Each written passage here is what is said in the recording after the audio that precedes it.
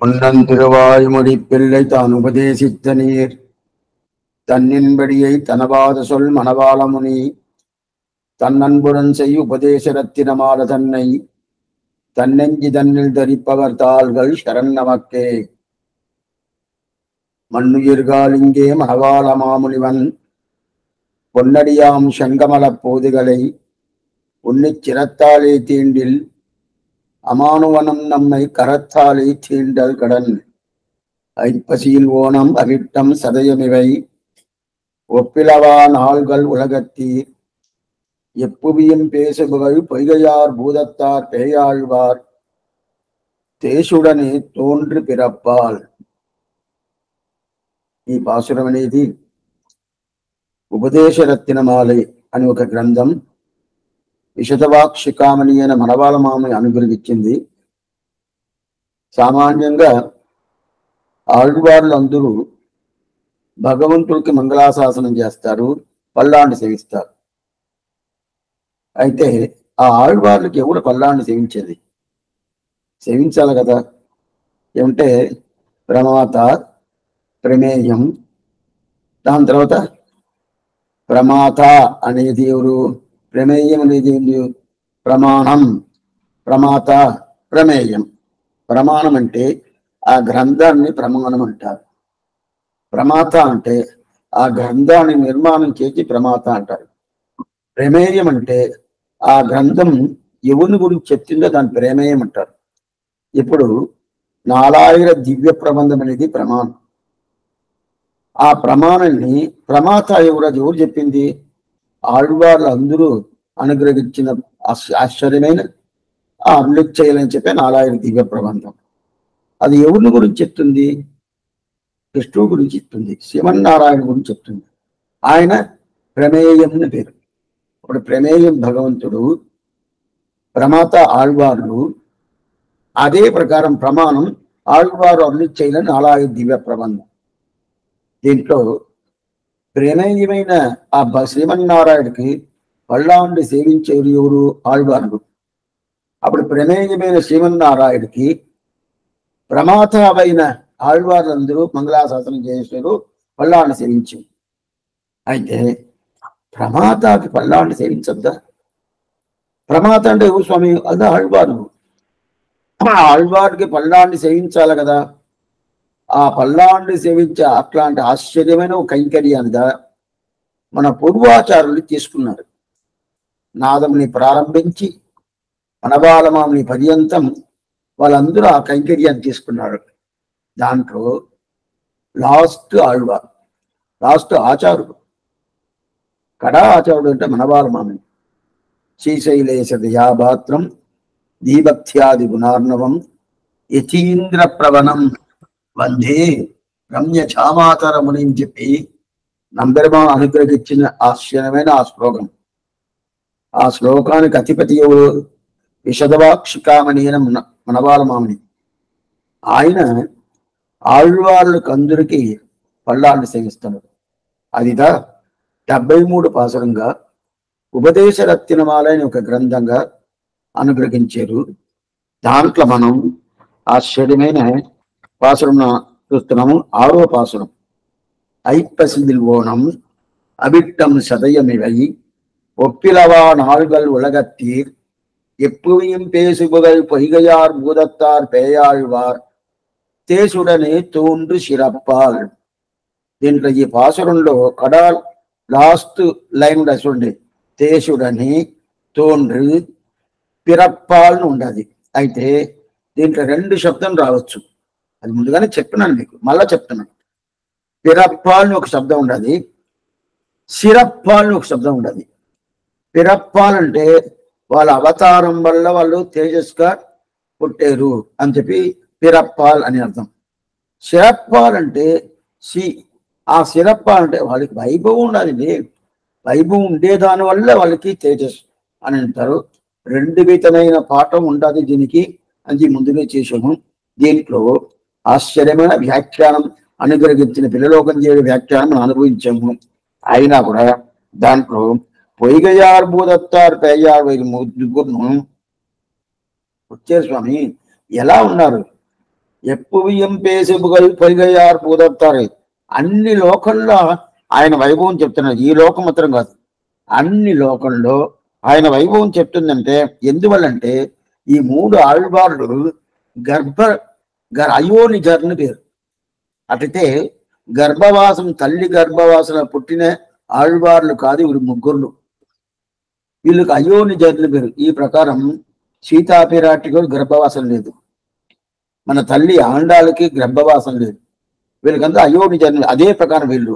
అయితే ఈయన ఏం చెప్తున్నంటే కరువరంగత్తులు కిడందేన్ కైదొడిదే కండేన్ తిరువరంగమేయాన్ దిశ అంటారు ఇది వచ్చి పొయ్యి ఆళ్వార్ పాసురం భూదత్తాళ్వార్ పేయాళ్వార్ ముగ్గురు అదే ప్రకారం మొదలు తిరువందాది పాసురం.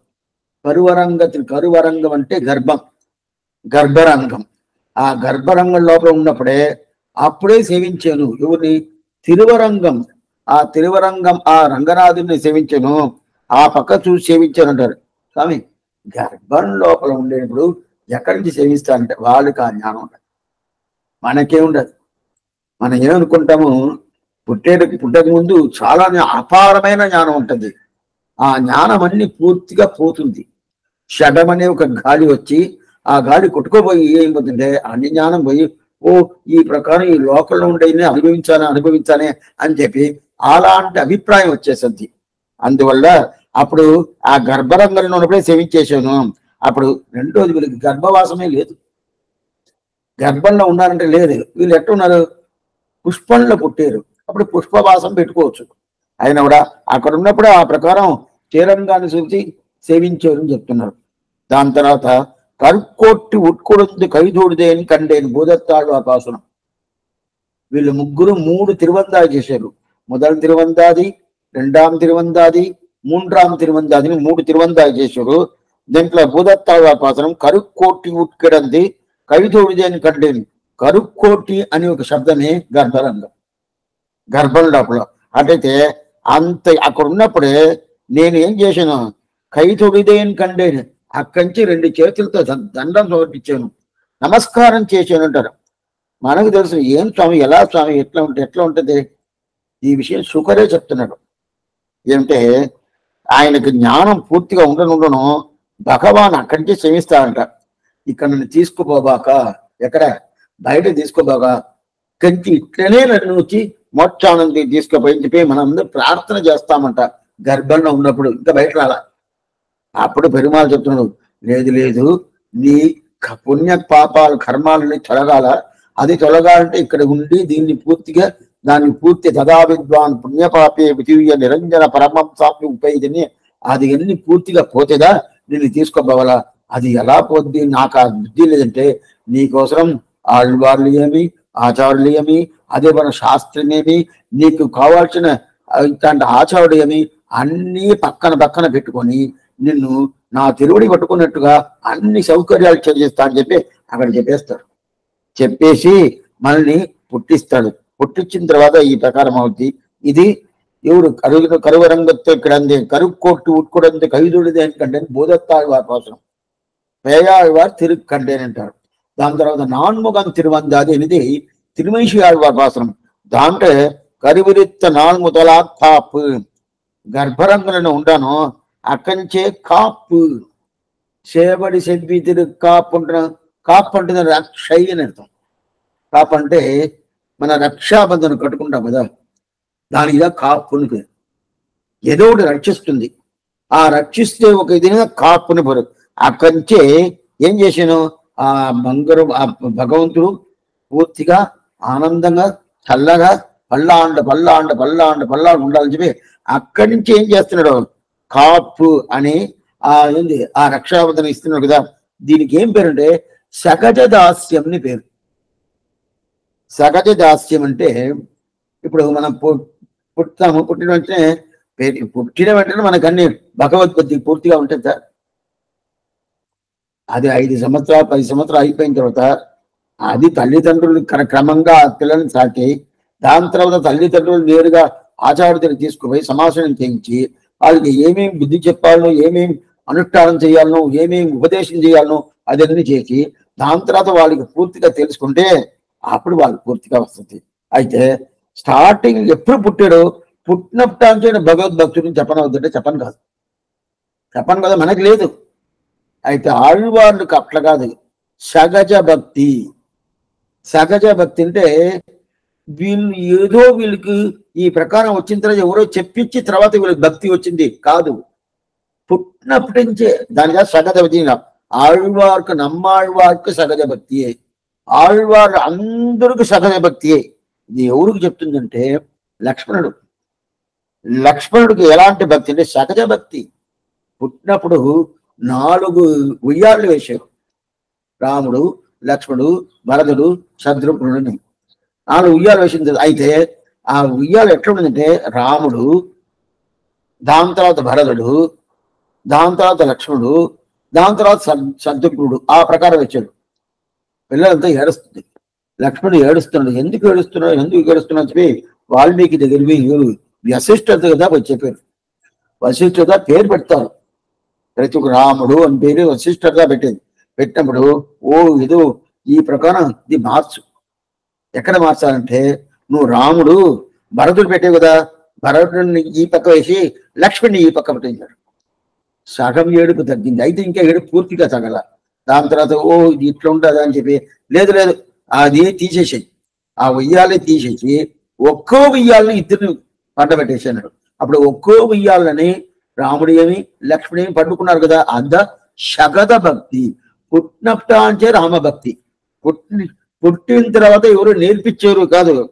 అదే ప్రకారం ఆళ్వార్లకు అందరికి పుట్టినప్పుడు రామభక్తి. ఏంది? భగవంతుడు ప్రీతి. నమ్మాళ్వారికి ఎప్పుడు ప్రారంభించిందో అప్పటాంటే కృష్ణ తృష్ణ తత్వం అని చెప్పి కృష్ణ కామం కృష్ణ భక్తి. ఇది వీళ్ళకంతా ఉండదు కదా. అట్లాంటి అవతారం చేసిన ఆ పొయ్గయాళ్వారేమి భూదత్తాళ్వారేమి పెయ్యాళ్వారేమి వీళ్ళు ముగ్గురు ఆశ్చర్యమైన వైభవం ఉంటది. ఏ వైభవం స్వామి? వాళ్ళు తిరునక్షత్రం ఏమి? ఐప్పసిల్ హోనం అవిట్టం శతయం అడే ముందుగానే నీకు చెప్పిన్నాను. నక్షత్రాల్లో మనకి సామాన్య మన తెలుగు భాషలో నక్షత్రం పేరు చెప్పుకుంటాం కదా. అది దగ్గర దగ్గర ఒక సగాని సగం నక్షత్రం ఇరవై ఏడు నక్షత్రాలు. దాంట్లో పదహైదు నక్షత్రాల దగ్గర ఆ పేరే ఉండదు. పేరు వేరే పేరు ఉంటుంది. అది మీరు తెలుసుకోవాలా? ఓనం దానికి శ్రవణం అని పేరు. అవిట్టం దానికి ధనిట్ట అని పేరు. శతయం దానికి శతభిషంగ్ అని పేరు. ఇది మన తెలుగు భాషలో చెప్తాం. సంస్కృత భాషలో అప్పుడే అట్లే వస్తుంది. అందుకంటే సంస్కృతం ఏం చెప్తుందో అదే అట్లే తెలుగులో ఉంటుంది. అందువల్ల అప్పుడు ఓణం అంటే శ్రవణం అవిట్టం అంటే ధనిష్ట అదే ప్రకారం వచ్చి సదం సదయం అంటే సదభిషక్త ఆ ప్రకారం. వీళ్ళు ముగ్గురు మూడు అవతారం మూడు నక్షత్రం అంటే కదా ఆ నక్షత్రాలని మనం ఆదరించాలంటాడు ఆ నక్షత్రం చాలా ముఖ్యం. దాన్ని ఆదరించాలి. ఎట్లంటే పొయ్గయాళ్వారు భూదత్తాళ్వారు పేయాళ్వారు అభిమానంలో మనం ఉండాలి. వాళ్ళ అభిమానం ఉండాలంటే ఏం స్వామి చేయాలా వాళ్ళపై సేవించాలా మైలాపూర్ తిరుక్కచ్చి అనే కాంచీపురం తిరుక్కడల్ మల్లై అనే మహాబలిపురం ఈ మూడు దివ్య దేశాలు పోయి ఆ మూడు దివ్య దేశాల వాళ్ళ అవతారం. వాళ్ళ అవతారాలపై పోయి సేవించాల. అట్లాంటి రోజు ఏ రోజు పుట్టారు? ఐప్పసీల్ ఓణం ఐప్పసి అంటే ఆశ్వేష మాసం. ఆశ్వేష మాసంలో శవ నక్షత్రం ధనిష్ట నక్షత్రం శతభష నక్షత్రం. ఈ మూడు నక్షత్రం పుట్టారు కదా. ఆ మూడు నక్షత్రాలు ఆ రోజులు ఉన్నాయి కదా ఆ రోజుకి సమానమైన రోజులు ఉన్నాయంటే లేదు. అద్ద ఒప్పిలావా నాలుగల్ ఉలగత్తే ఒప్పిలావా. దీనికి సమానంగా లేదు. స్వామి ఈయనకి ఈయన సమమ కాదండి. ఆయన చాలా పెద్ద ఆయన. ఈయన ఏం లేదు అంటాం కదా. ఆ రోజుకి సమానంగా ఏదైనా లేదు. ఆ సమానమైన రోజే లేనే లేదు. ఇంటి మీద అట్లాంటి ఆశ్చర్యమైన వైభవం ఉండే ఆ రోజుని అప్పుడు ఏం చేయాలా? ఆ రోజుకుండ వైభవం దాన్ని మనం పొందాల. అది కాకుండా ఆళ్వార్ల అభిమానుల పూర్తిగా వాళ్ళ దగ్గర ఉండాలి. అప్పుడు ఏమవుతుంది? మనకి ఉజ్జీవనం దొరకదు. ఆళ్వార్ల దగ్గర అభిమానం పెట్టుకుంటే ఆళ్వార్లు తిరునక్షత్రాల మన వైభవాన్ని పూర్తిగా మనం పొందితే ఏమవుతుంది? మనకు ఉజ్జీవనం దొరుకుతుంది. ఎందువల్ల స్వామి అంటే భగవంతుడికి అది ప్రీతిగా ఉంటుంది.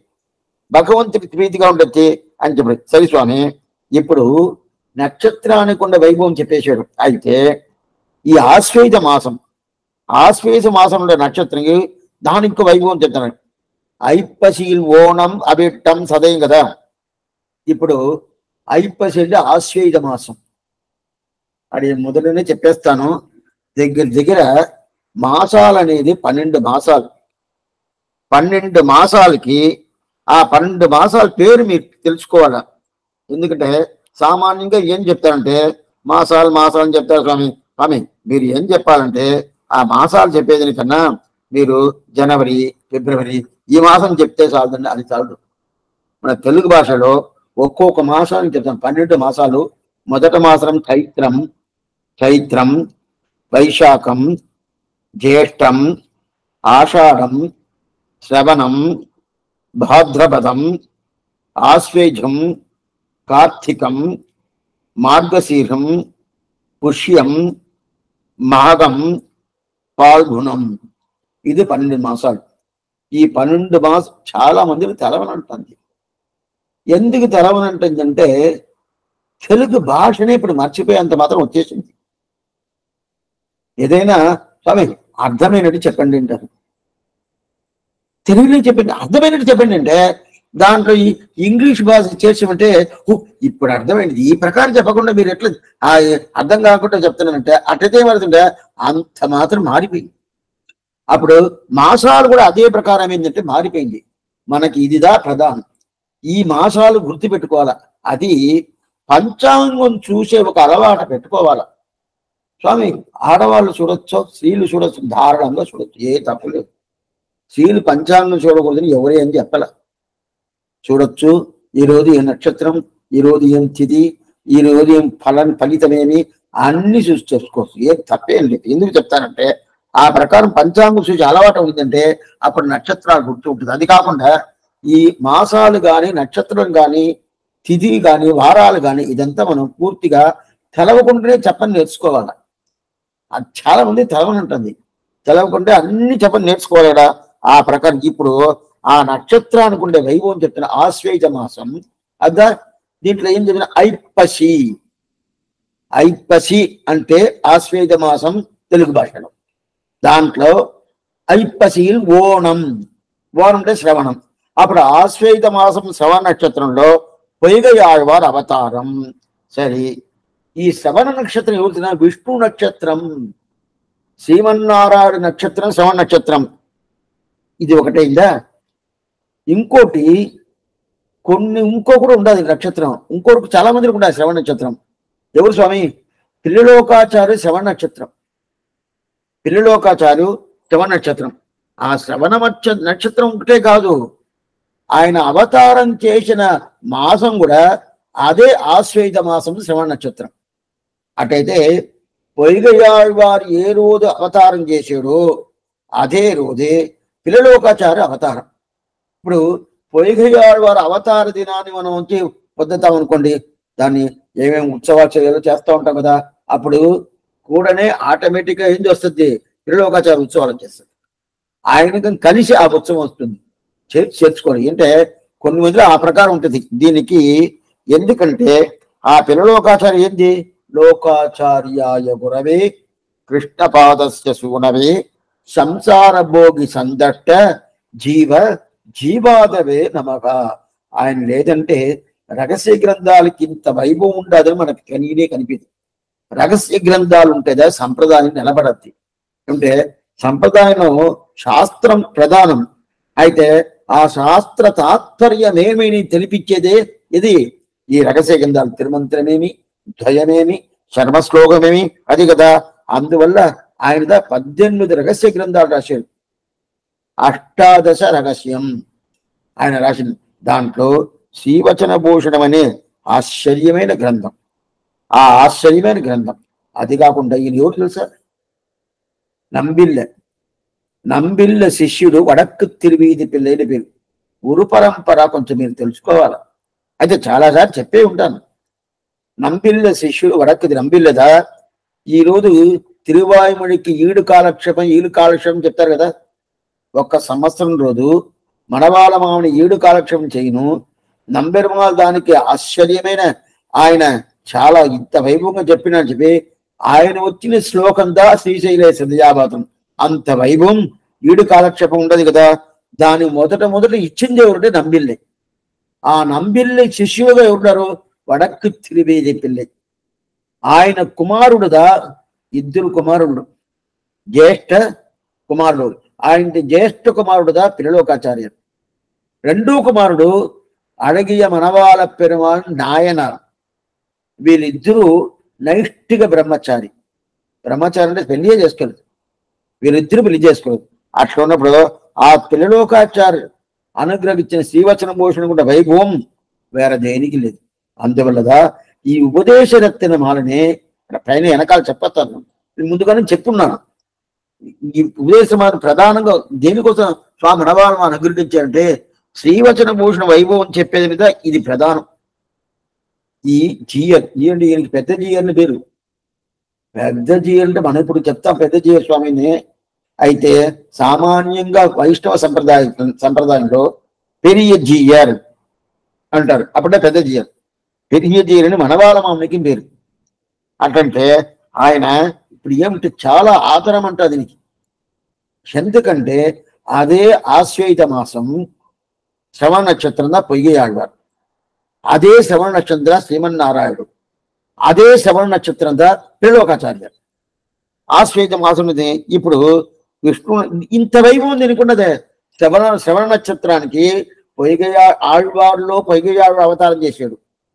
ఆచార్యుల్లో పిల్లలోకాచార అవతారం చేశాడు. అదే ప్రకారం భగవంతుడు శ్రీమన్నారాయణుడు ఎవరు స్వామి అవతారం వామనుడు అవతారం చేయడం వామన భగవాన్ కొల్వన్నాన్ మావడి మూవడి తాయంట కల్వని చెప్పి వాముడు అవతారం చేశాడు. అందువల్ల ఈ నక్షత్రానికి పేరు ఆశ్చర్యమైన పేరు. ఏం పేరుంటే ఈ నక్షత్రానికి? ముప్పుడి ఊట్టియ నక్షత్రం అంటారు. ముప్పుడి ఊట్టియ నక్షత్రం అంటే ఈ ప్రబంధానికి వైభవం ఎట్లాంటి వైభవము? ఏ ప్రబంధానికి? ఈ మొదల తిరువందాది ప్రబంధమేమి? అదే ప్రకారం అష్టాదశ రహస్యంగాలని చెప్పే పద్దెనిమిది రహస్యాలు రా- అనుగ్రహించిన పిల్లలోకాచార ప్రబంధానికి వైభవమేమి? దాంతర వామనుడు వామనుడు మహాబలి దగ్గర పోయి ఆ యాచకం చేసి ఆ మూడు భూహు భువగా సువగా మూడు లోకాలు ఇంద్రుడికి ఇచ్చేదే ఆ వైభవమేమి? ఈ మూడు వైభవాలు ఏం చెప్తుంది? శ్రవణ నక్షత్రం చెప్తుంది. శ్రవణం నక్షత్రం. శ్రవణం అనేది నక్షత్రం ఉండదు శ్రవణం అనేది మాసం ఉండాలి దాన్ని సింహ మాసం అంటారు శ్రవణ మాసం అంటారు. శ్రవణ మాసం ఉండదు శ్రవణ నక్షత్రం ఉండదు. ఎందుకు చెప్తానంటే దీనికి అది ముప్పురి ఊఠ్య నక్షత్రం అంటారు. అట్టంటే స్వామి?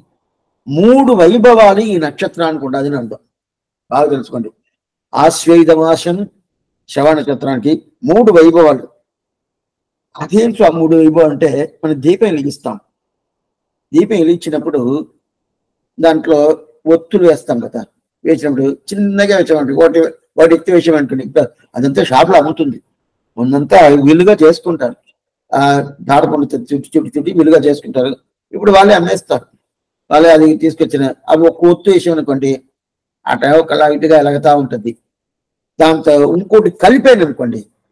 కలిపంటేనే కొంచెం నిలిచి ఎలగత్తి మొదట వేస్తే మునుకు మునుకు మునుకును చిన్నదిగా ఎలగతా ఉంటుంది.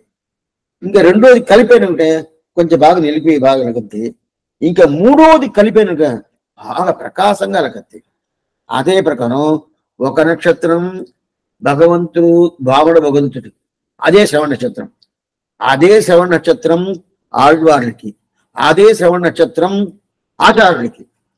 అప్పుడంటే ఇది ముగ్గురికి ఒకే శ్రవణ నక్షత్రం కదా? అందుకు కదా? అప్పుడంటే ఇన్ని ఒక ఒత్తు కాదు మూడు ఒత్తులు వేసినప్పుడు బాగా ప్రకాశంగా వెనకద్ది కదా ఆ ప్రకాశం ఈ నక్షత్రం. అటైతే ఒకటి పెరుమాళ్ళు అవతారం చేసిన నక్షత్రం ఆళ్వారు పొయ్యి ఆళ్వారు అవతారం చేసిన నక్షత్రం అదే ప్రకారం త్రిలోకాచార అవతారం చేసిన నక్షత్రం. దీని కదా ముప్పురి ఊఠి నక్షత్రం అంటారు.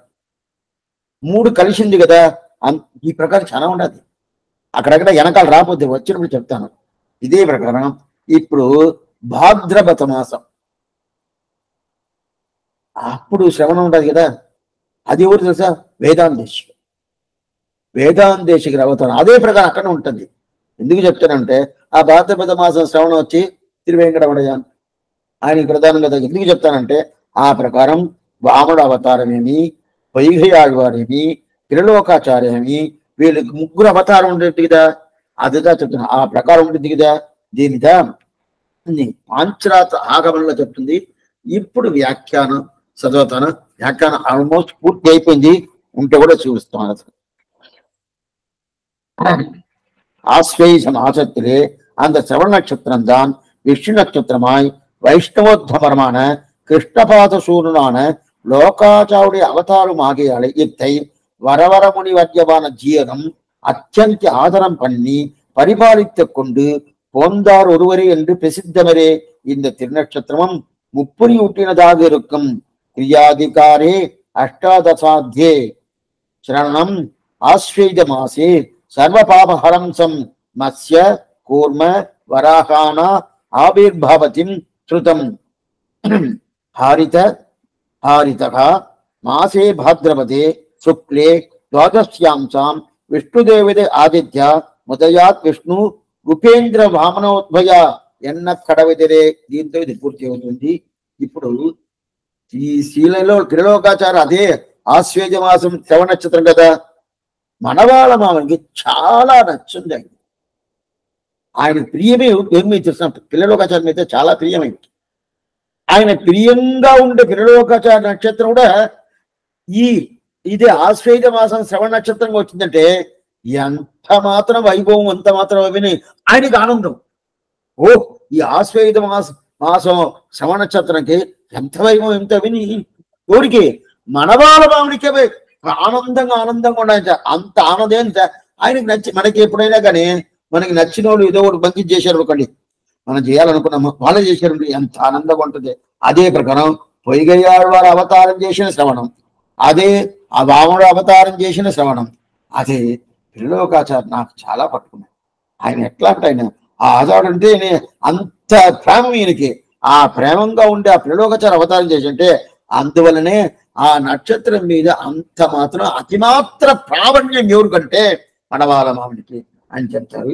ఇప్పుడు దీనికి పైన ఒక పాంచరాత్ర ఆగమం ఉంది పేరు. ఆ ఆగమంలో ఒక శాస్త్రం చెప్తుంది. పద్దెనిమిది అధ్యాయులు ఇట్లా చెప్తుంది. క్రియా అధికారి అష్టాదశ అధ్యాయే అటంటే శ్రవణం శ్రవణం చ ఆశ్వేద మాసే సర్వపాపహరం పరం ఇప్పుడు ఈ ఆశ్వేజ మాసంలో ఇప్పుడు కొన్ని కొన్ని కొన్ని విషయాలు చెప్పతలుంది ఆశ్వేజ మాసంలో శ్రవణ నక్షత్రంలో ఆ శ్రవణ నక్షత్రం మనకి ఎంత మంచి చేసేది చూ అని చెప్తున్నాయి. అంటే శ్రవణానికి కూడా మీరు ఉపవాసం ఉంటారు. ఎట్లా ఏకాదశి ఉపసా ఉపవాసం ఉంటారో స్వామి ఈరోజు శ్రవణం స్వామి ఉపవాసం అని చెప్తారు కదా. ఇది కొంతమంది గురువారం ఉంటారు. అట్లని శాస్త్రం లేదు. వీలుగా కొత్తగా అదే పెట్టుకుంది. శ్రవణ ఉప ఉపవాసం అనేది శాస్త్రమే చెప్తుంది. ఉపవాసంలో శ్రవణం ఆవిడకి ఎలాంటి శ్రవణం చెప్తుంది? ఇది పాంచరాత్ ఆగమం చెప్తుంది. ఆ ఆశ్వేద మాసం శ్రవణ నక్షత్రం ఏంటే ఆ రోజు మనం భగవంతుని సేవించమంటే మనకుండే పాపాలన్నీ తొలగద్దంట. మనకుండే పాపాలని తొలగిద్దంట ఏంటంటే ఇంకోటి ఏంటంటే అంత మాత్రం ఇది అంత మాత్రం మనకు వినపడింది అనేది అది చెప్తాను. అప్పుడు శ్రవణం ఆశ్వేత మాస శ్రవణం. ఆ శ్రవణంలో భగవంతుని సేవించమంటే మన పాపాలను తొలగద్ది ఇది ఒకటి కదా ఇంకోటి మత్స్య కూర్మ వరాహానాం ఆవిర్భావ దినం శృతం ఈ మూడు అవతారాలు ఆవిర్భావం. అంటే మూడు అవతారం మత్స్య అవతారం కూర్మావతారం వరాహ అవతారం ఈ మూడుకి ఆవిర్భావం ఎప్పుడంటే ఐప్పశీల్ ఓణం. ఐప్పశీల్ ఓణం. పాంచరాత్రం శాస్త్రం చెప్తుంది. మత్స్యవతారం బాగా చెప్తుంది. మత్స్యవతారం అవతారం చేసింది ఆశ్వేత మాసం ఏం నక్షత్రం? శ్రవణ నక్షత్రం. కూర్మావతారం అవతారం చేసింది ఆశ్వేత మాసం శ్రవణ నక్షత్రం. వరాహ అవతారం అవతారం చేసింది ఆశ్వేజ మాసం శ్రవణ నక్షత్రం. శ్రవ ఆశ్వేజ మాసం శ్రవణ నక్షత్రం ఇంత వైభవమా అవును. వైగయాழ்వ అదే ప్రకారం మనకుండే భగవంతుడు శ్రీమన్నారాయణ వామన భగవంతుడు దాని తర్వాత త్రిలోకాచార్యులు దాని తర్వాత మత్స్యమేమి కూర్మమేమి వరాహమేమి ఇదన్నీ అవతారం చేసింది. ఇది ఒకటి ఉండదు. ఇది ఒకటి అయిందా? అయితే ఇంకో ప్రమాణం ఒకటి ఉండదు. ఆ ప్రమాణం ఏం చెప్తుందంటే లేదు లేదు వాళ్ళు ఈ ప్రకారం అవతారం చేసే వాస్తవంగా ఇంకో ప్రమాణం చైత్రమాసం శుక్లపక్ష పంచమ తిథిలో మత్స్య అవతారం జరిగింది అని చెప్తారు. అవతారం మత్స్య అవతారం చైత్రమాసం కృష్ణ నవమి అటైతే వర సారీ చైత్రమాసం శుక్లపక్ష పంచమి. బాగా తెలుసుకోండి. కొంచెం గుర్తుగా వింటేదా? అంటే ఇలాంటి లెక్కలంతా అది చాలా శ్రమపడి చెప్తే తీసుకున్నాను చైత్రమాసం శుక్లపక్ష పంచమి తిథిలో మత్స్యావతార అవతారం చేస్తుంది. దాని తర్వాత ఇంకోటి ఏంది? ఇంకోటి ఆశ్చర్యమైన మాసం. ఆ మాసంలో ఏం చెప్తున్నా అంటే ఆ మాసంలో ఎవరు పుట్టాడు? జ్యేష్ఠ మాసం. జ్యేష్ఠ మాసంలో శుక్ల ద్వాదశి కూర్మ అవతారం అంటారు. జ్యేష్ఠ మాసం శుక్ల ద్వాదశిలో కూర్మ అవతారం అంటారు. అదే ప్రకారం ఇంకా మనం ఇంకోటి చైత్ర మాసం కృష్ణ నవమి వరాహ అవతారం అంటాం స్వామి ఏం స్వామి మీరు ఈ ప్రకారం చేస్తాడు? జ్యేష్ఠ మాసం చెప్తారు చైత్ర మాసం చెప్తారు చైత్ర మాసం ఇంకోటి చెప్పారు. అయితే దీనికి మొదట మొదట ఏం చెప్పారు? మత్స్యావతారం కూర్మావతారం వరాహ అవతారం అనేది ఆశ్వేత మాసం ఆ శ్రవణ నక్షత్రం చెప్పేశారు మొదట. ఇప్పుడు ఏరంటే చైత్ర మాసంలో శుక్లపక్ష పంచమిలో మత్స్యావతారం జరిగింది. జ్యేష్ఠ మాసం శుక్ల ద్వాదశిలో కూర్మావతారం జరిగింది. చైత్ర మాసం కృష్ణ నవమిలో వరాహ అవతారం జరిగింది అంటారే? స్వామి ఒకటా రెండా? మనకు జన్మాష్టమి చూస్తాం కదా. ఈ రోజు కొంతమంది పెట్టుకుంటారు రేపు పెట్టుకుంటారు ఎల్లుండి మూడు రోజులు మూడు రోజులు జన్మాష్టమి పెట్టుకుంటారు. మనంతా శ్రీ జయంతి చెప్తాం. సరే ఆ ప్రకారం ఈయనకేం స్వామి? వరాహుడు అదే ప్రకారం వచ్చి మత్స్య కూర్మ వరాహముడు ఈ ఆశ్వేజ మాసం చెప్తారు మళ్ళీ చైత్ర మాసం చెప్తారు మళ్ళీ జ్యేష్ఠ మాసం చెప్తారు. ఇది నిజం అంటే రెండు నిజమే. రెండు నిజమే. ఏమంటే మనకి ఇది కొంచెం ఈ లెక్క కొంచెం తెలుసుకోండి. ఇంకా నెక్స్ట్ పాసంలో పెద్ద లెక్క చెప్పొస్తాను. అయితే ఈరోజు కొంతమంది వచ్చిండారు ఆ లెక్క ఏ లెక్క అనేది ఏంటంటే మనకి క్రితయుగం త్రేతాయుగం ద్వాపరయుగం కలియుగం. అది ఏ లెక్కలో వస్తుంది? ఆళ్వార్లు ఎప్పుడు పుట్టారు? ఆ ఆళ్వారు పుట్టిన దానికి నమ్మాళ్వారు పుట్టిన దానికి తేడా ఎంత? అది కాకుండా ఈ కృతయుగులనే ఇది త్రేతాయుగం ద్వాపర యుగంలోనే ఆళ్వారు పుట్టారంటే అప్పుడు ఎందుకు కృష్ణుడు సేవించలేదు? సేవించుండదు కదా. అది కాకుండా ద్వాపర యుగంలో తిరుమేశ్వర అవతారం చేశాడు. మళ్ళీ కలియుగంలో కూడా ఉన్నాడు. అప్పుడు కలియుగంలో ఉన్నాడంటే నమ్మాళ్వారు ఎందుకు మీట్ కాలేదు? దీనికి సమాధానం. నెక్స్ట్ పాసన చూడబోతాం. అదే ప్రకారం ఇక్కడ మనకి ఈ ఆశ్వేత మాసంలో శ్రవణ నక్షత్రంలో మత్స్యావతారం కూర్మావతారం వరాగావతారం జరిగింది అని పాంచరాశాస్త్రం చెప్తుంది. ఇంకో శాస్త్రం ఏం చెప్పిందంటే ఇంకో శాస్త్రం లేదు లేదు చైత్రమాసంలో శుక్లపక్ష పంచమి ఇది మత్స్యావతారం. జ్యేష్ఠ మాసం శుక్లం శుక్లం అంటే శుక్లం అంటే ఏంటంటే శుక్లం కృష్ణం అంటే ఏంది? పౌర్ణమి నుంచి అమావాస పర్యంతం దానికి కృష్ణపక్షంని పేరు. అమావాస్య నుంచి పౌర్ణమి దాకా దానికి శుక్లపక్షంని పేరు. ఇదంతా తెలుసుకోవాలి? శుక్లపక్షం అంటే ఏంటి? పంచ అర్థం చెప్తున్నాయి పంచాంగ రోజు చూస్తుంటే ఇది వస్తుంది. అందువల్ల ఆ ప్రకారం అవతారం చేసి చెప్తారు? మూడు అవతారం. ఎన్ని స్వామి శైలి అంటే రెండు సరి రెండు శైలి అంటే ఎట్లంటే ప్రతి ఒక్క చతుర్యుగం పూర్తి అయిపోయిన ఈ అవతారాలతో జరగద్ది. ఇప్పుడు మనం ఉండేది వెయ్యి చతుర్యుగం అయిందంటే ప్రళయం వస్తుంది. బాగా తెలుసుకోండి. వెయ్యి చతుర్యుగాలు వచ్చిందంటే ప్రళయం వచ్చింది ప్రళయం పూర్తిగా వస్తుంది. అప్పుడు ఒక చతుర్యుగం అనేది నలభై మూడు లక్షలు ఇరవై ఇరవై వేలు. ఒక చతుర్యుగం అనేది నలభై మూడు లక్షలు ఇరవై వేలు సంవత్సరాలు. నల ఒక చతుర్యుగం ఉండేండి కృతయుగం త్రేతాయుగం ద్వాపర యుగం కలియుగం. ఈ నాలుగు యుగాలు కలిపి నలభై మూడు లక్షలు ఇరవై వేలు సంవత్సరాల ఒక చతుర్యుగానికి. అదే ప్రకారం ఒక్కొక్క చతుర్యుగంలోనూ మత్స్య పూర్వ అవతార అవతారాలంతా ఉంటుంది. అది తెలుసుకోండి. ఈ ప్రకారం వెయ్యి చతుర్యుగం అయిపోతేనే ప్రళయం వస్తుంది. మన ఒక చతుర్యుగం అయితే ప్రళయం రాదు. ఈ ప్రకారం వెయ్యి చతుర్యుగం అవ్వాలా? ఇప్పుడు ఎన్నో చతుర్యుగం? ఇరవై ఎనిమిదో చతుర్యుగం. అష్టావింశతి శతే. మనం సంకల్పం చేస్తున్నాం కదా అస్య గోవింద గోవింద గోవింద అస్య భగవతో మహాపురుషస్థ విష్ణురాజ్ఞాయ ప్రవర్తమానస్య ఆద్య బ్రహ్మణగా తృతీయ పరార్థే శ్రీ శ్వేతవరా కల్పే వైవస్తన గన్నంత్రే అష్టావింశతితే కలియుగే ప్రథమోపాదే జంబూద్గీతే భారతవర్షే వరదఖండే వేరోగో దక్షిణ భారసే శతాబ్దే అస్మిన్ వర్తమానే వ్యవహారికే ప్రభవాది షట్టి సంవత్సరాల మధ్యే అని చెప్పి ఇది సంకల్పం ఈ సంకల్పంలో అష్టావింశతి సదే అంటే ఇరవై ఎనిమిదవ చతుర్యుగం జరుగుతుంది. అప్పుడు ఎప్పుడు స్వామి పూర్తి అవుతుంటే ఇంకా ఉంటుంది. వెయ్యి చతుర్యుగం ఇవ్వాల ఇప్పుడు ఇరవై ఎనిమిది అంటే ఇంకా ఎంత ఉంటుంది? తొమ్మిది తొమ్మిది వందల పైన ఉంటుంది కదా. అందువల్ల ఇది ఆ ఒక్కొక్క చతుర్యుగంలోనూ వీళ్ళు అవతారం చేస్తారు. ఎవరు? మత్స్యకురం ఈ దశావతారం పూర్తిగా వస్తుంది. ఇది ఒక చతుర్యుగంలో చైత్ర మాసం పుట్టిండొచ్చు. ఒక చతుర్యుగంలో ఆశ్వేజ మాసం శవ నక్షత్రం పుట్టిండొచ్చు అందువల్ల రెండు ఒకటి. ఎందుకోసం నేను చెప్తున్నా అంటే దీనికి ఉండే ఆ ఆశ్వేజ మాసం శవ నక్షత్రం ఉండే వైభవం అంత వైభవం అంటారు. అందువల్ల మీరేం ఆ వైభవాన్ని తెలుసుకొని దానికి తగినట్టు మీరు ఏం చేయాలంటే అది పొందాలి. అది పొందాలి. అప్పుడు ఈ దీనికి తిరువోణం పేరు. దానిదా మనవాళ మామిడి ఆయన పాసనంలో ఐప్పసిల్ ఓణం. దాన్ని తిరువోణం. తిరు అనే శబ్దం చేర్చుకుంటారు. ఓణం ద నక్షత్రం పేరు.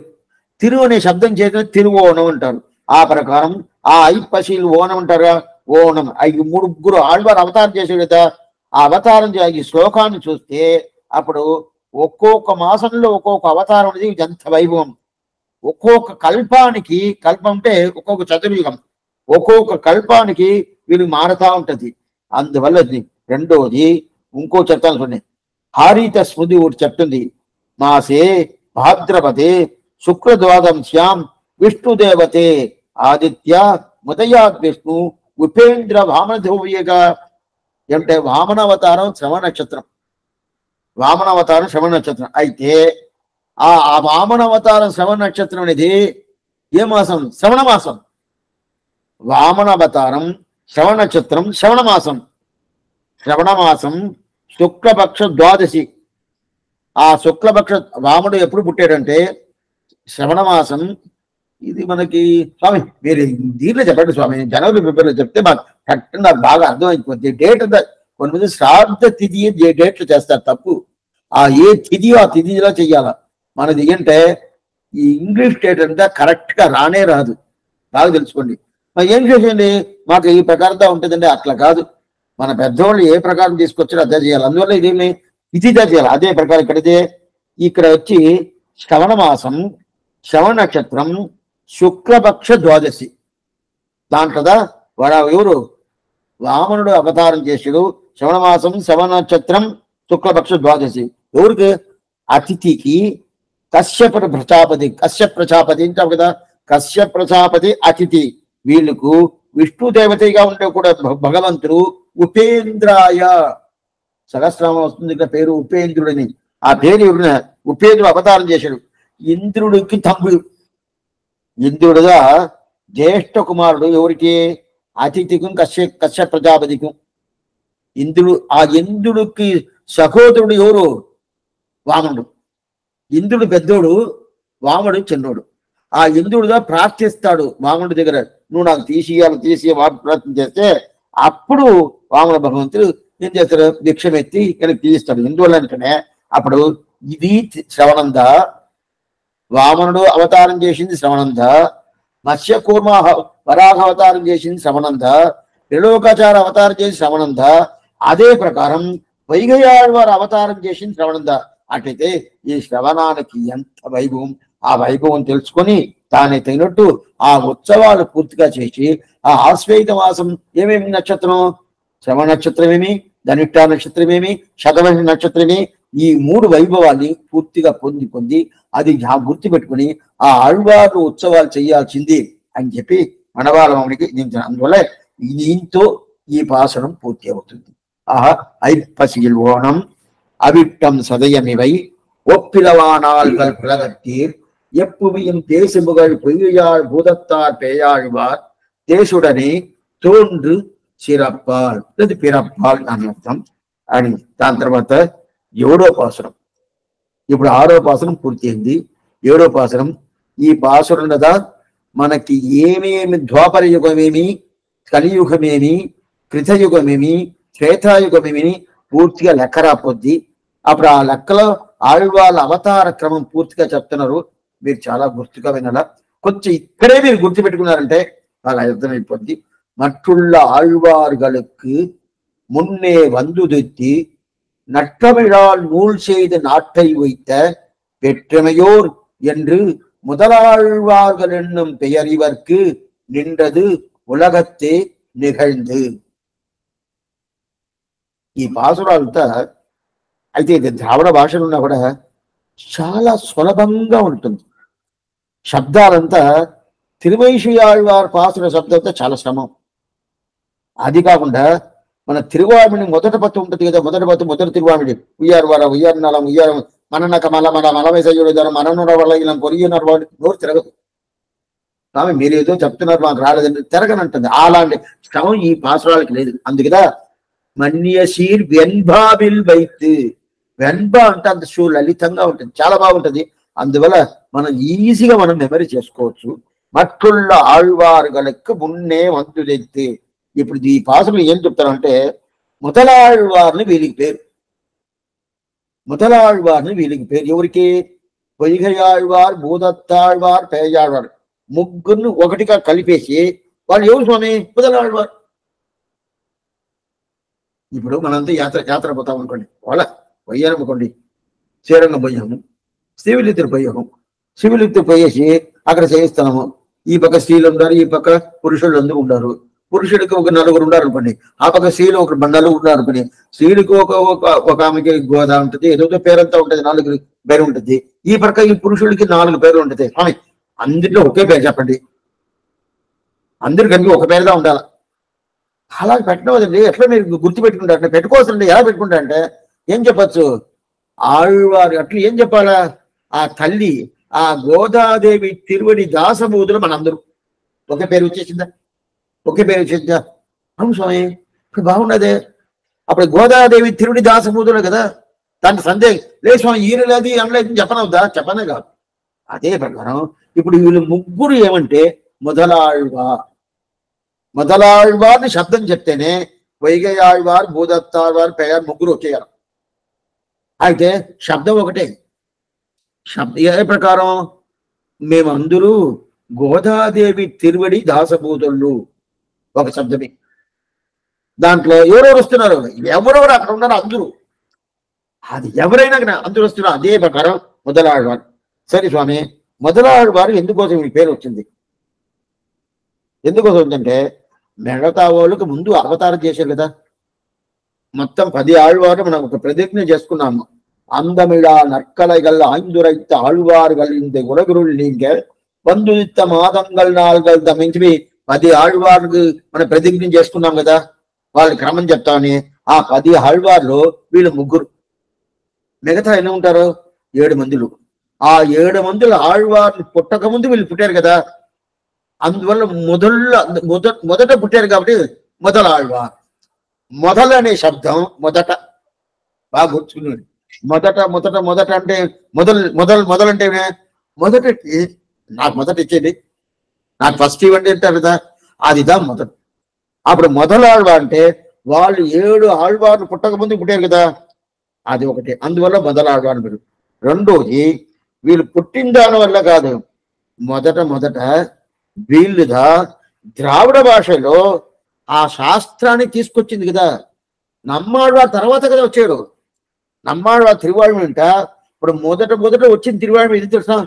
మొదలు తిరువందాది. రెండాం తిరువందాది మూండాం తిరువందాది ఇద్దం మొదట వచ్చింది. దాని తర్వాత వెనకాల తిరుపావ కానీ అదే ఇది ఇది అయితే అయితే పుస్తకంలో ఆ ప్రకారం లేదు స్వామి అంటే అది నాదముని ఆ ప్రకారం దాన్ని ఆ వ్యాసము యొక్క ఋగ్వేదం యజుర్వేద సామవేద అందరమైన వేదం ఎలా చేసాడో అదే ప్రకారం నాదముని దాన్ని క్లియర్గా చేసి ఉండి ఇప్పుడు ఉన్నప్పుడు అప్పుడు మొదటి మొదలు ఈయన వీళ్ళు ఏం చేశారు? ఈ ద్రావిడ భాషలో శాస్త్రం చెప్పిన ఆ ద్రావిడ భాష తీసుకొచ్చి ఇచ్చారు కదా అందువల్ల ఇది మొదలాళ్వారు. ఇప్పుడు రెండు వైభవాలు వీళ్ళకి మొదలాళ్వారు అనే పేరు. ఇదంతా మీరు గుర్తుపెట్టుకోవాలి. రెండు వైభవం. మొదట వైభవం ఏడు ఆళ్వార్లు పుట్టక ముందే వీళ్ళు పుట్టారు. అందువల్ల మొదలాళ్వారు. రెండో వైభవం స్వామి మొదట మొదట వీళ్ళే కదా. ద్రావిడ భాషలో గ్రంథం చేశారు. అప్పుడు ఆ వేదాన్ని అందువల్ల మొదలాడవారు ఈ వైభవం ఉండదు. అప్పుడు అవతారంలో ముందుగా పుట్టారు మొదలాడవారు సంస్కృత వేదాన్ని ద్రావిడ దేశంలో ద్రావిడ భాష తీసుకొచ్చారు. అందువల్ల முதலாகும் ఈ రెండు వైభవాలు ఉండాలి. అందున ఆ మట్టుళ్ళ ఆళ్వారుగలకు మున్నే వందుదెత్తి. ఇప్పుడు పదపదార్థం ఏం చూస్తాము? మట్టుళ్ళ ఆళ్వారు. ఈ ముగ్గురు ఉండే ఏం చెప్తున్నంటే ఈ ముగ్గురు చెప్తున్నారే? అటైతే వీళ్ళ తర్వాత ఏడు మందులు ఉంటారు కదా వాళ్ళు కలపకుండా. ఇప్పుడు ఎవరెవరు ఏడు మందులు స్వామి? ఇప్పుడు వీళ్ళు వీళ్ళు అవతారం చేశారు.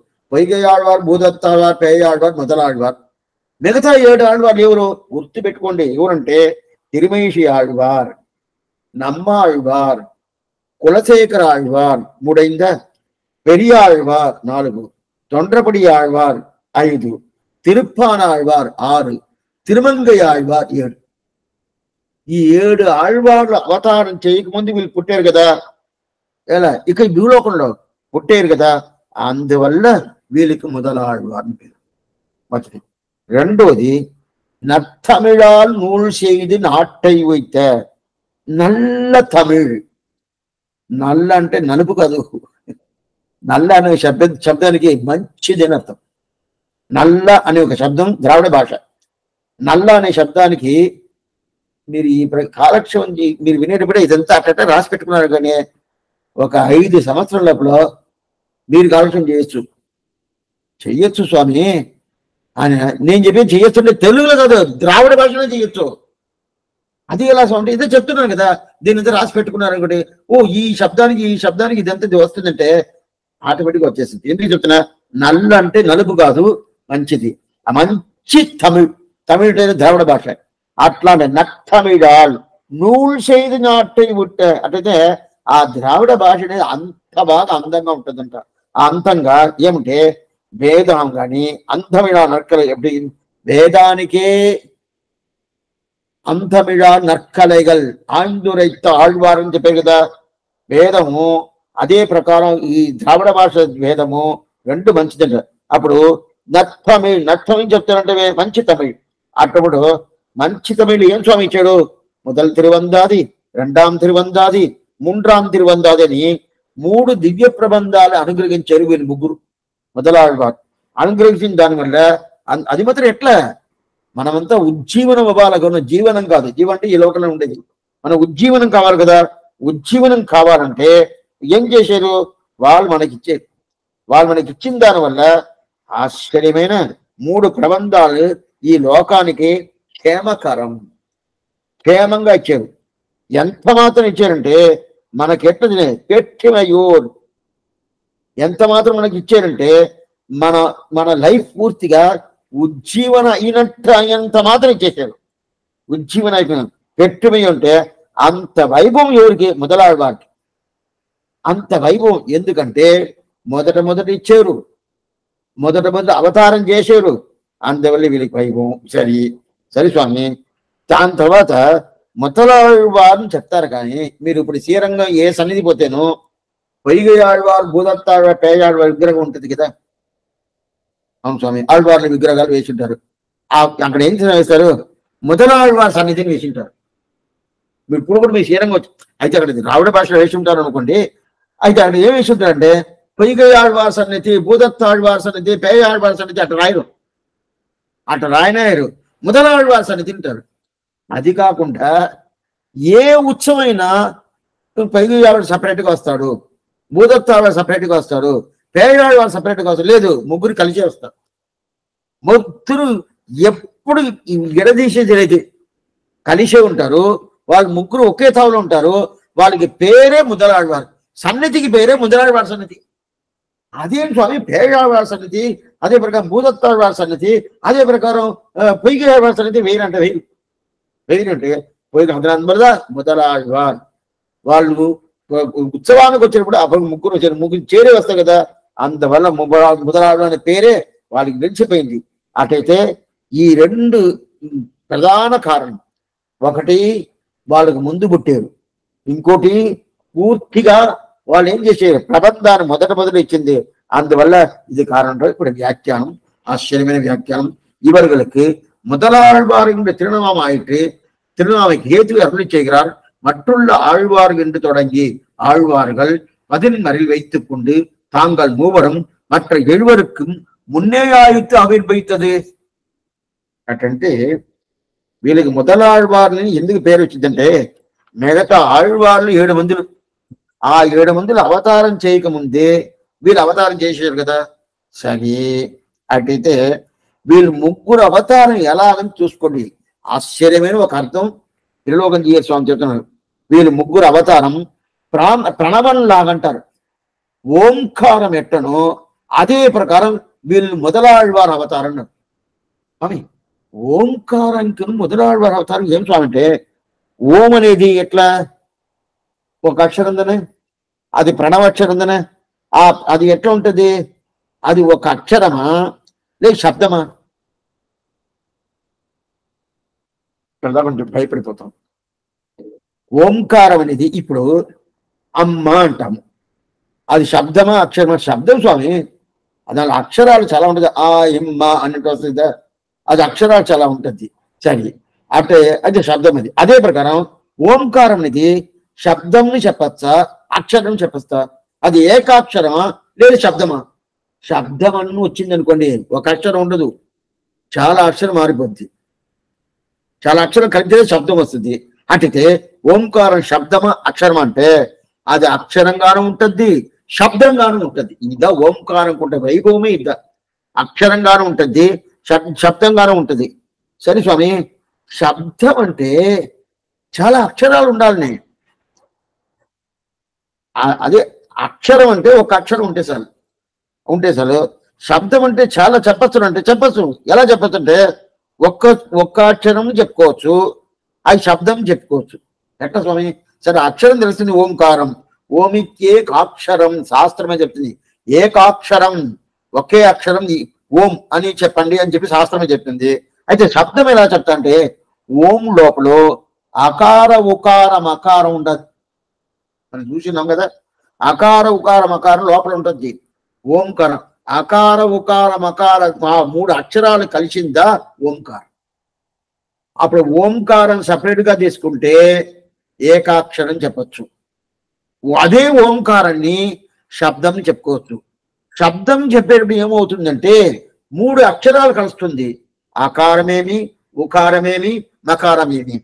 అకారం అనేది శ్రీమన్నారాయణ చెప్తుంది. మకారమేని మళ్ళీ చెప్తుంది. మళ్ళీ సమయం ప్రతి ఒక్కరిని జీవాత్మ కొట్టి వాళ్ళందరూ చెప్తుంది. ఉకారం అనేది ఏం స్వామి చెప్పి వాడికి నేను దాసబోతుడు అని చెప్పి ఉకారం చెప్తుంది. లేదు విరాటిని చెప్తుంది కూడా పెట్టుకోవచ్చు. ఇప్పుడు ఈ మూడు చెప్పాలంటే దీనికి తెలుస్తుంది కదా. అందువల్ల అప్పుడు ఈ ప్రకారం మొదలాళ్వార్ల ప్రకారంగా ప్రణవం మొదలాళ్వార్ల ప్రకారం ప్రణవం అంటే ఇప్పుడు మొదలాళ్వార్ను ఒకటిని చెప్పచ్చు. దాని ఇది ఎలాగా? ప్రణవం ఏకాక్షరం. ఒకటిని చెప్పచ్చు. అదే ప్రణవాన్ని శబ్దం చెప్పామంటే దాంట్లో మూడు వస్తుంది కదా అకార ఉకారం అకారంని. అదే ప్రకారం మొదలాళ్వారిని ఎత్తుకుంటే అట్ట ఆ శబ్దం అట్నే ఎత్తుకుంటే స్వామి ఒకటే. మొదలాళ్వారిని శబ్దం ఒకటే. సరే స్వామి మొదలాళ్వారిని ఒక ఇది ఒకటే అయిపోయింది. దానివల్ల శబ్దాన్ని విడదీస్తే ముగ్గురు రావాలి కదా వస్తున్నారే. వైగయాళ్వార్ భూదత్తాళ్వార్ హేయాళ్వార్. అందువల్ల ఈ మొదలాళ్వార్ శబ్దం అనేది ప్రణవం లాగా. ఇంతవరకు విని ఉంటారా? స్వామి మొదలాళ్వారికి ప్రణవానికి ఏం సంబంధం అంటే ఇది సంబంధం. ఏకాక్షరంగా ఉంటుంది శబ్దంగాను ఉంటుంది ప్రణవం. అదే ప్రకారం మొదలాళ్వార్ అనేది ఏకాక్ష ఏక ఇక్కడ అక్షరం కాదు ఏక శబ్దంగాను ఉంటుంది మూడు శబ్దంగాను ఉంటుంది. ఏక శబ్దంగా ఉంటుంది మొదలాళ్వార్ మూడు శబ్దంగా ఉంటుంది పొయ్గయాళ్వార్ భూదత్తాళ్వార్ పేరాళ్వార్ లేదా శాస్త్రం చెప్పింది ఓమిత్యేకాక్షరం నమయుదిద్వే అక్షరే నారాయణాయేతి పంచాక్షరాని అని చెప్పింది. ఓమని ఒక్క అక్షరం నమః అని రెండు అక్షరం నారాయణాయ అని ఐదు అక్షరాలు మొత్తానికి ఎనిమిది అక్షరాలు. ఐదా అష్టాక్షరని పేరు. అప్పుడు ఓంకారం ప్రథమం. ఓంకారం ప్రవణం దీంట్లో మూడు ఉండదు. అదే ప్రకారం మొదలావివ ప్రధానం ప్రథమం. ప్రథమం అంటే ప్రథమం ప్రథమం. దాంట్లో మూడు ఉండదు ఆ మూడు ఇది వైగయాழ்வார் பூதத்தாழ்வார் பேயாழ்வார் అప్పుడు మొదలాళ్వార్ అంటేనే ప్రణవం లాగా అర్థమైందా? మొదలాళ్వార్ అంటే ప్రణవం లాగా సరే స్వామి. ఓం నమక నారాయణాయలో ఈ మూడు శబ్దాలు కదా? ఈ మూడు శబ్దంలో ఇది స్వామి ప్రధానం. ఈ మూడు శబ్దం ఇది ప్రధానం?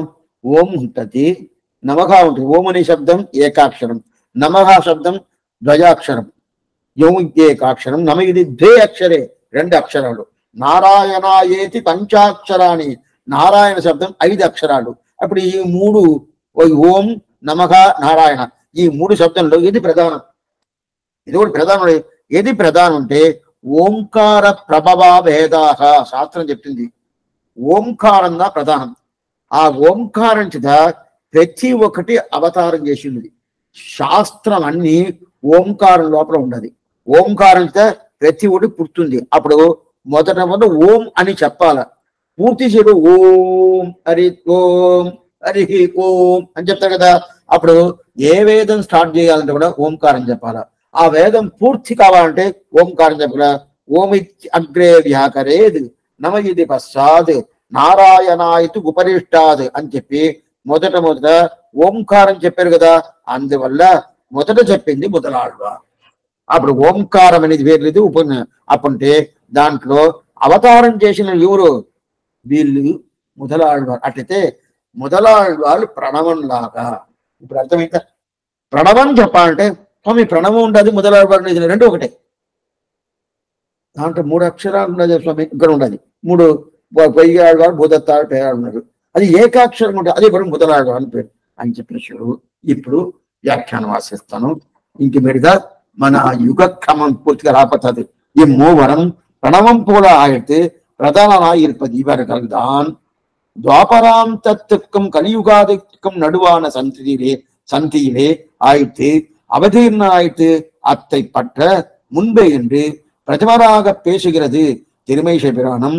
இவர் அவர்களுக்கு தோல் தீண்டியான காலத்திலே ஆய்த்து அவதரித்தனது மட்டுண்டானவர்கள் கலியுகாதிலே தொடங்கி அடைவிலே அவதரித்தார்கள். இனி நற்றமிழால் நூல் செய்வதே ஆகுது தொழில்நுட்பம் அதற்கு துவாபராந்தத்துக்கும் கலியுகத்தும் நடுவிலான சந்தியிலே ஆயிட்டு అవతీర్ణమాయితే ஆயிடுது మీరు కొంచెం బాగా కూర్చోవాలా ఇంతవరకు ఇది చెప్పింది లేదు ఇప్పుడు ఏం చెప్తానంటే ఇప్పుడు వీళ్ళు ఎప్పుడు అవతారం చేశారు? అవతారం చేసిన టైం ఏమి ఎవరు?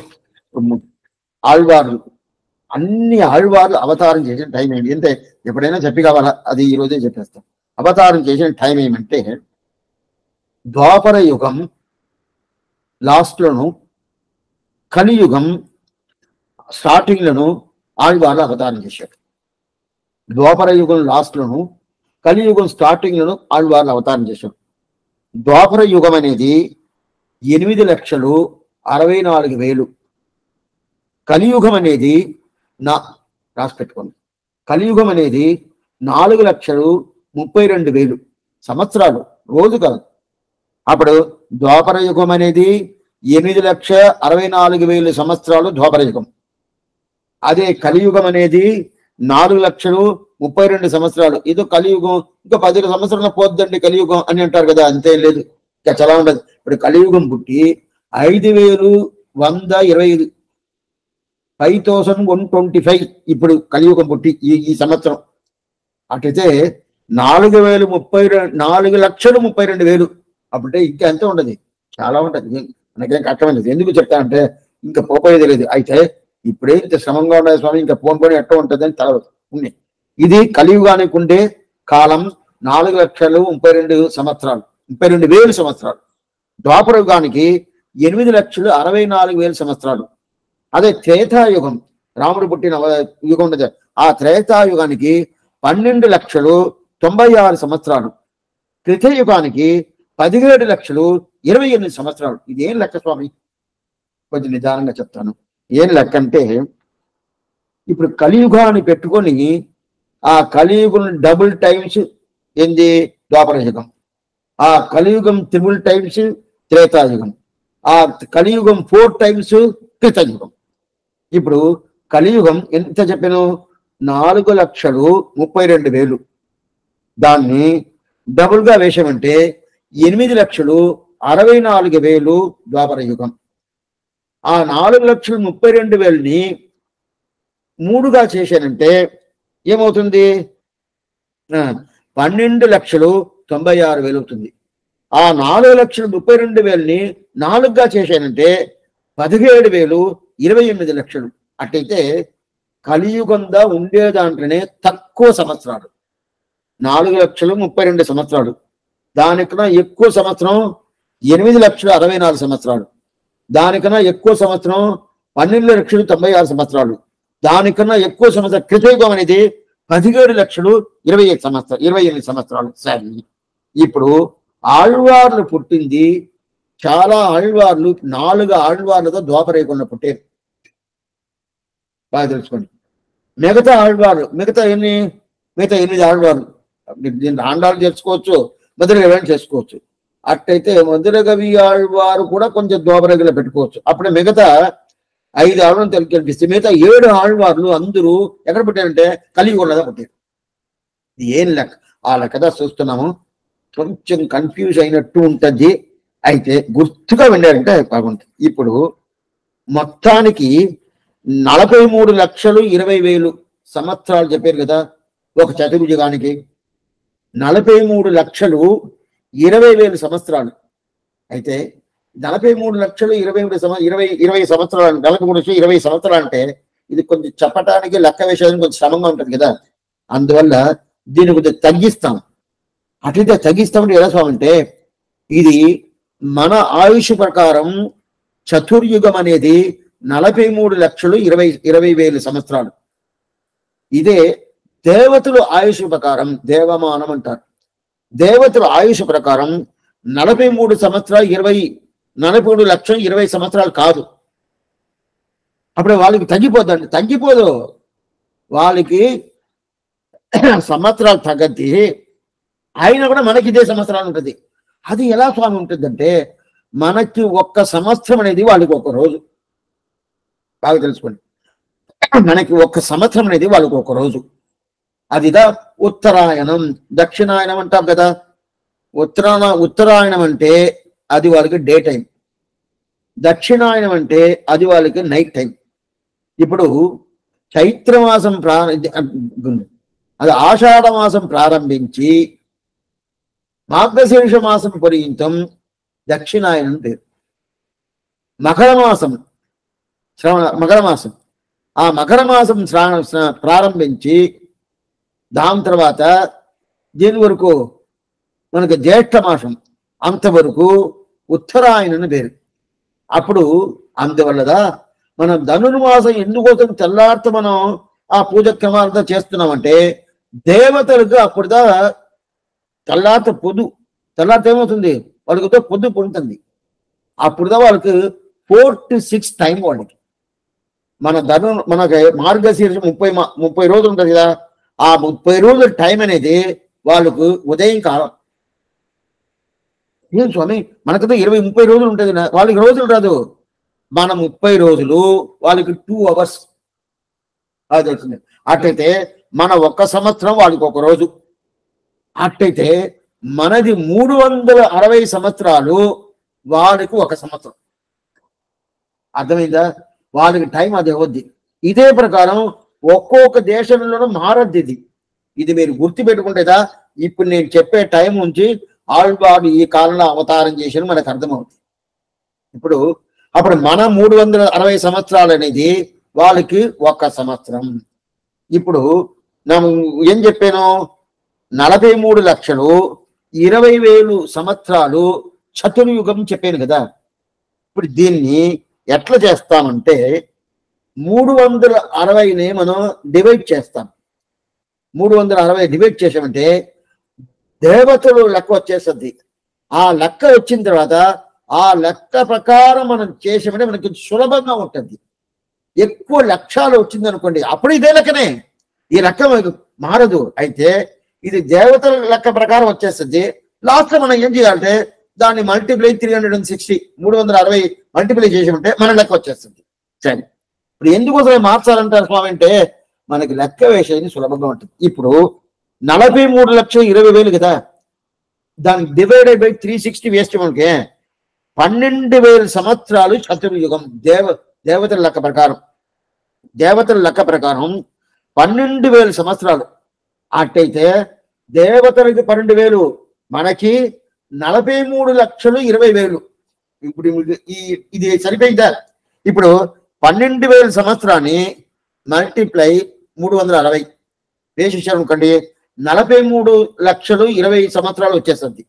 ఇప్పుడు అది కొంచెం కొంచెం పక్కకు పెట్టేసి దేవతలు లెక్క ప్రకారం మనం తీసుకుంటే మనకి లెక్కకి సులభంగా ఉంటుంది ఇది పన్నెండు వేల సంవత్సరాలు పెట్టుకోండి. ఈ పన్నెండు వేల సంవత్సరాల చతుర్యుగం. నాలుగు యుగాలు కలిపి పన్నెండు వేల సంవత్సరాలు. సరే స్వామి దీనిలో కృతయుగం ఎంత త్రేతాయుగం ఎంత ద్వాపరయుగం ఎంత కలియుగం ఎంత చూడాలి కదా. నేను ముందుగా చెప్పింది మన మన లెక్క ప్రకారం కృతయుగం కృతయుగం అనేది పదిహేడు లక్షలు ఇరవై ఎనిమిది ఇరవై ఎనిమిది వేలు. త్రేతాయుగం అనేది పన్నెండు లక్షలు తొంభై ఆరు వేలు. ద్వాపర యుగం అనేది ఎనిమిది లక్షలు అరవై నాలుగు వేలు. కలియుగం అనేది నాలుగు లక్షలు ముప్పై రెండు వేలు. ఇది ఇది మన లెక్క ప్రకారం. అయితే శ్రమంగా ఉండేది స్వామి వాళ్ళ లెక్కకి పోతా ఉంటే వాళ్ళ లెక్కకి పోవాలంటే పన్నెండు వేలు సంవత్సరాలు ఒక చతుర్యుగం. అది మన లెక్కకి నలభై మూడు లక్షలు ఇరవై వేలు అయిపోయింది. సరే. ఇప్పుడు వాళ్ళ లెక్క ప్రకారం కృతయుగం ఎంత? త్రేతాయుగం ఎంత?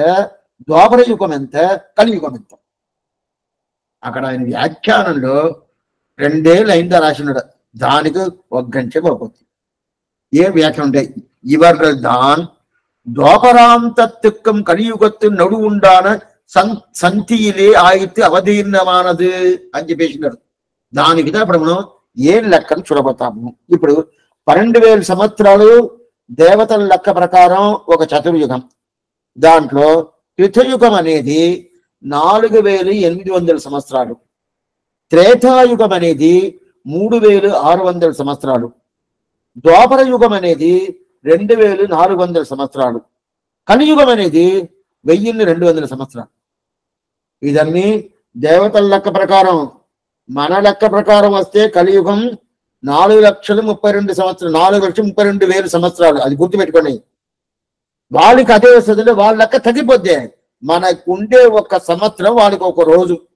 అర్థమైందా? అందువల్ల వాళ్ళకి తెలియదు. అప్పుడు ఎందుకు వాళ్ళ దగ్గర పోయి ఉంటే వాళ్ళ లెక్క తీసుకుంటే మనకి లెక్క వేషయం సరిగా ఉంటుంది అని తీసుకున్నాను ఇప్పుడు పన్నెండు వేల సంవత్సరాలు ఒక చతుర్యుగం పెట్టుకున్నాం. సరే ఇప్పుడు నాలుగు వేల ఎనిమిది వందలు మూడు వేల ఆరు వందలు రెండు వేల నాలుగు వందలు వెయ్యి రెండు వందలు. ఇదా క్రితయుగమేమి? త్రేత మీరు రాసి పెట్టుకుంటా వస్తుంటే చాలా గు- గుర్తు ఉంటుంది. అంటే ఎవరైనా అడిగారు అనుకోండి ఏం స్వామి మీరు ఎంత ప్రకారం చెప్తున్నారు? అదంతా లేదని చెప్తాను లెక్క ఉండదు. లెక్క ఉండదు. అదే కలియుగం అనేది వెయ్యి రెండు వందల సంవత్సరాలు. దీంట్లో నాలుగు వేల ఎనిమిది వందలు ఉండింది కదా. అట్లయితే పదిహేడు లక్షతి పదిహేడు లక్షలు ఇరవై ఎనిమిది వేలు. ఈ నా అదిదా నాలుగు వేలు ఎనిమిది వందల సంవత్సరాలు దేవతల ప్రకారం. పదిహేడు లక్షల ఇరవై ఎనిమిది సమ సంవత్సరాలు అనేది మన ప్రకారం. ఇప్పుడు నాలుగు వేల ఎనిమిది వందలు చెప్పాను కదా. దాంట్లో నాలుగు వేల ఎనిమిది వందలు త్రితయుగం కాదు. ఏం స్వామి? కాదా? కానే కాదు. అప్పుడు ఏం స్వామి? దాంట్లో ఎనిమిది వందలు తీసేయాల? మిగతా ఏముండదు? నాలుగు వేలు ఉండదు. ఆ నాలుగు వేల సంవత్సరాలదా కృతయుగం అప్పుడు ఎనిమిది వందలు? దీనికిదా సంధిని పేరు. గుర్తుగా వినాలా? బాగా తెలుసుకోండి. అయితే తర్వాత మేము అడగతాం మీరు చెప్పాలని చెప్తే అప్పుడు మీరు గుర్తు వింటారేమో అడగబోయేది లేదనుకోండి అయినా కూడా ఈ గుర్తు విన్నారంటే మీకు ఓ ఈ ప్రకారం ఉండదా స్వామిని తెలుసుకుంటారు. ఇప్పుడు నాలుగు వేల సంవత్సరాలుగా క్రితయుగం. అయితే మనం మొదట మనం చూసింది నాలుగు వేల ఎనిమిది ఎనిమిది వందల సంవత్సరాలు క్రితయుగం చూసాము దేవతల లెక్క ప్రకారం. దీంట్లో ఎనిమిది వందల సంవత్సరాలు తీసేయాల. అప్పుడు నాలుగు వందలు అప్పుడు అది ఏం చేయాలంటే క్రితయుగం పుట్టక ముందు దానికి సంధి అని ఒకటి ఉంటారు కృతయుగం అయిపోయిన తర్వాత దానికి సంధి అంటారు. సంధి అంటే ఏందని చెప్తాను. ఇప్పుడు రేపు కలియుగం పడుతుంది అనుకోండి. ఈ రోజు ఈ రోజు ద్వాపర యుగం. రేపు కలియుగం పుడుతుంది అనుకోండి రేపు పుట్టదు. ద్వాపర యుగం అయిపోయిన తర్వాత ద్వాపర యుగానికి కలియుగానికి మధ్యలో ఒక టైం ఒక ఎన్నో సంవత్సరాలు వేళ్ళు సంవత్సరాలు ఉంటుంది. ఆ వేళ్ళు సంవత్సరం ఉంటుంది కదా, దాని తర్వాత కలిగి వస్తుంది. దానికి ఆ మధ్యలో ఉండే ఉంటది దాని సంధి అని పేరు. ఇది ఎవరు చెప్పిందంటే విష్ణు పురాణంలో పరాశర గారికి చెప్తున్నారు. వ్యాసం వశిష్ట నప్తారం శక్తే పౌత్రమ కల్మషం పరాశరాసరం వందే శుకతాపం తపోముదిని వ్యాసుడు తండ్రి పరాశర మహర్షి చెప్తున్నాడు. ఏం చెప్తున్నాడు? ఈ ప్రకారం ఈ లెక్క చెప్పి. ఇప్పుడు దాంట్లో సంధిని పేరు. ఆ సంధి అనేది ఎట్లా ఉంటదంటే కృతయుగం ప్రారంభం ఇప్పుడు కలియుగం అయిపోతుంది కదా. కలియుగం అనేది నాలుగు నాలుగు నాలుగు లక్షల ముప్పై రెండు ముప్పై రెండు వేల సంవత్సరాలు అయిపోయిన తర్వాత దాని తర్వాత ఏమొస్తుందంటే ఆ సంధి వస్తుంది. సంధి అనేది నాలుగు వందలు. ఆ నాలుగు వందల సంవత్సరాలు అయిపోయిన తర్వాత కృతయుగం వస్తుంది. కృతయుగం అయిపోయిన తర్వాత మళ్ళీ ద్వాపరయుగం రావాలి కదా. అది రాకముందు మళ్ళీ నాలుగు వందల సంవత్సరాలు సంధి వస్తుంది. అటైతే ఏ యుగం పుట్టక ముందు సంధి ఉంటుంది. అది పూర్తి అయ్యేటప్పుడు సంధి ఉంటుంది. దీనికి సంధి అని పేరు. ఆ సంధినే ఎత్తిండరు సంధి అంటే ఏంది? ఈ యుగానికి ఇంకో యుగానికి పోయేటప్పుడు దానికి మధ్యలో కొన్ని టైం ఉంటుంది కాలం ఉంటుంది.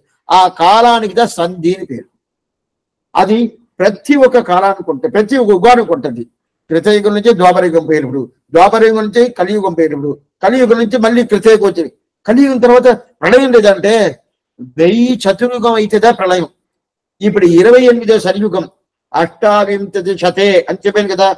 అప్పుడు ఇరవై ఎనిమిదో చతుర్యుగం అంటే ఈ చతుర్యుగం అయిపోయింది ఇరవై తొమ్మిది రావాలా? ఆ ప్రకారం వెయ్యి రావాలా?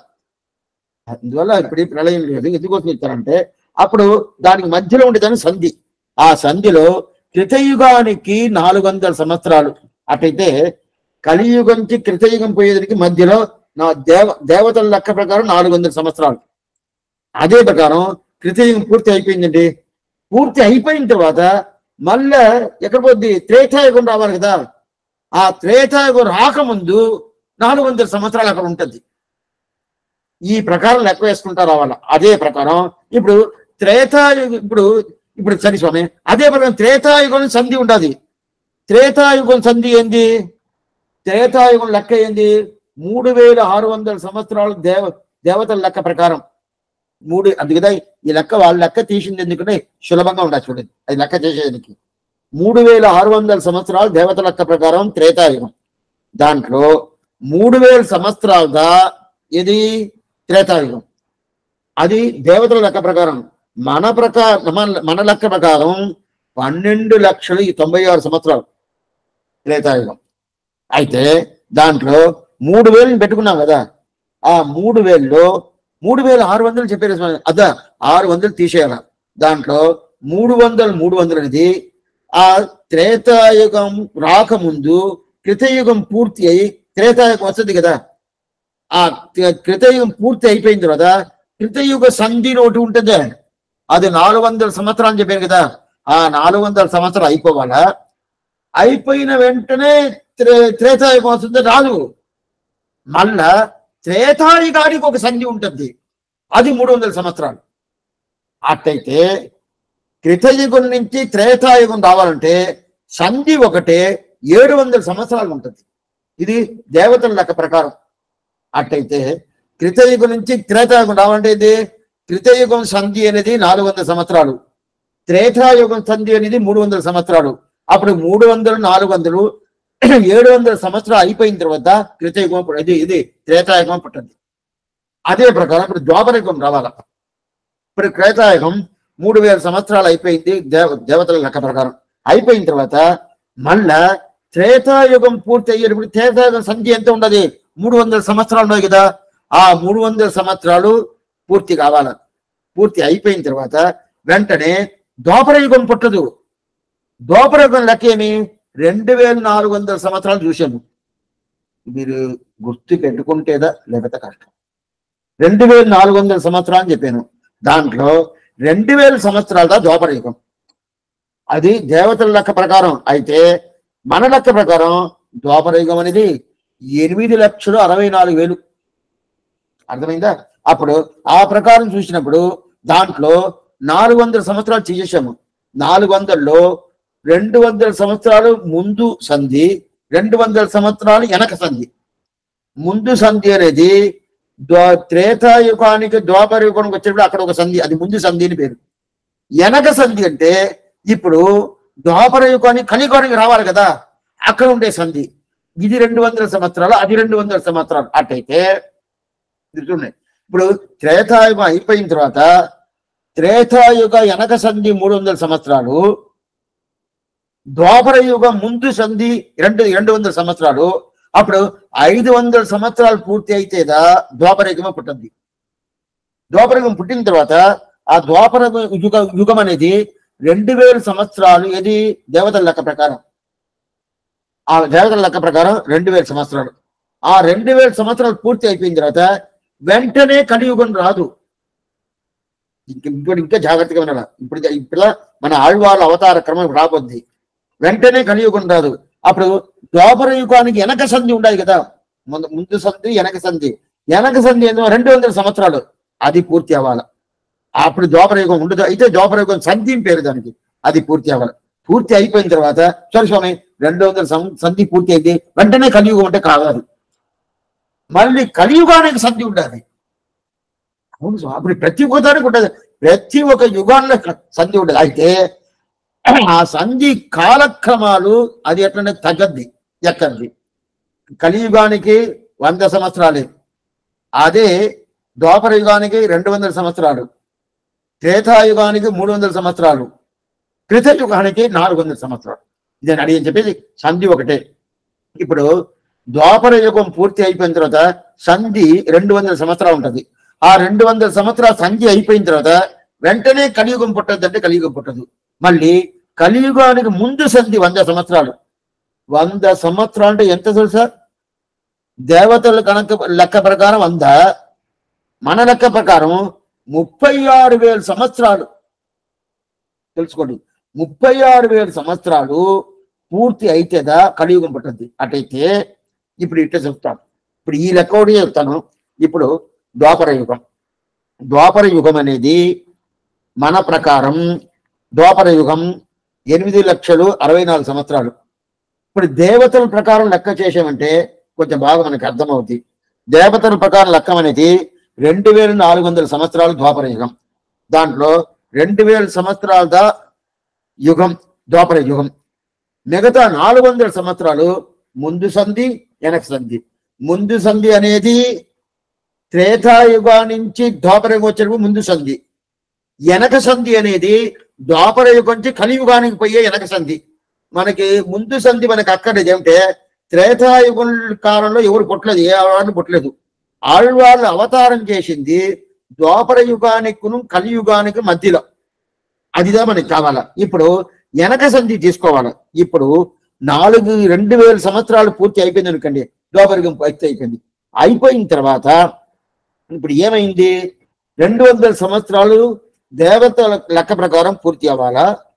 మళ్ళా కలియుగ సంధి వంద ఉంటది కదా ఆ వంద పూర్తి కావాలా వంద అంటే ఇది ముప్పై ఆరు వేల సంవత్సరాలు అని పూర్తి అవ్వాలా? పూర్తి అయిపోయిందంటే అప్పుడు వస్తుంది.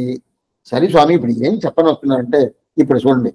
ఇప్పుడు ఏంటంటే ఇప్పుడు ముప్పై ఆరు వేల సంవత్సరాలు పూర్తి కావాలా? అట్లయితే ఈ ముప్పై ఆరు వేల సంవత్సరం ఉన్నాయి కదా ఆ ముప్పై ఆరు వేల సంవత్సరంలో ఆళ్వాళ్ళు అవతారం చేశారు. అట్లయితే ద్వాపర యుగానికిను కలియుగానికిను దగ్గర దగ్గర ఎంత తేడా తెలుసా? ద్వాపర యుగం పూర్తి అయిపోయిన తర్వాత వెంటనే కలియుగం పట్టదంటే పట్టదు. ద్వాపర యుగం అనేది రెండు వందల సంవత్సరాలు అని చెప్పాను కదా. అట్టయితే డెబ్బై రెండు వేల సంవత్సరాలు సంధి. ఏంది? వెనక సంధి. అదే ముప్పై ఆరు వేల సంవత్సరాలు ముందు సంధి కలియుగానికి. ఈ రెండు కలపాల ఈ రెండు కలిసిన తర్వాతదా కలియుగం పుట్టింది. ద్వాపర యుగం నిన్న ఈ రోజు అయిపోయిందండి ఈ రోజు రాత్రి ద్వాపర యుగం అయిపోయిందండి. రేపు ఉదయం కలియుగం అంటే కాదు. అవి తెలుసుకోవాలి ఎందుకోసం? అట్లా కాదు. ద్వాపర యుగం ఈ రోజు అయిపోయిందంటే వెంటనే రేపు కలియుగమే కదా? కాదు. ద్వాపర యుగానికి కలియుగం రావటానికి డెబ్బై రెండు వేల సంవత్సరాలు ఒకటి ముప్పై ఆరు వేల సంవత్సరాలు ఒకటి రెండు కలసాలు రెండు కలిపితే ఎంత స్వామి వస్తుంది? డెబ్బై రెండు వేల సంవత్సరాలు ముప్పై ఆరు వేల సంవత్సరాలు రెండు కలిపేమంటే దగ్గర దగ్గర లక్షం సంవత్సరాల పైన వస్తుంది కదా? లక్షం సంవత్సరాల పైన వస్తుంది.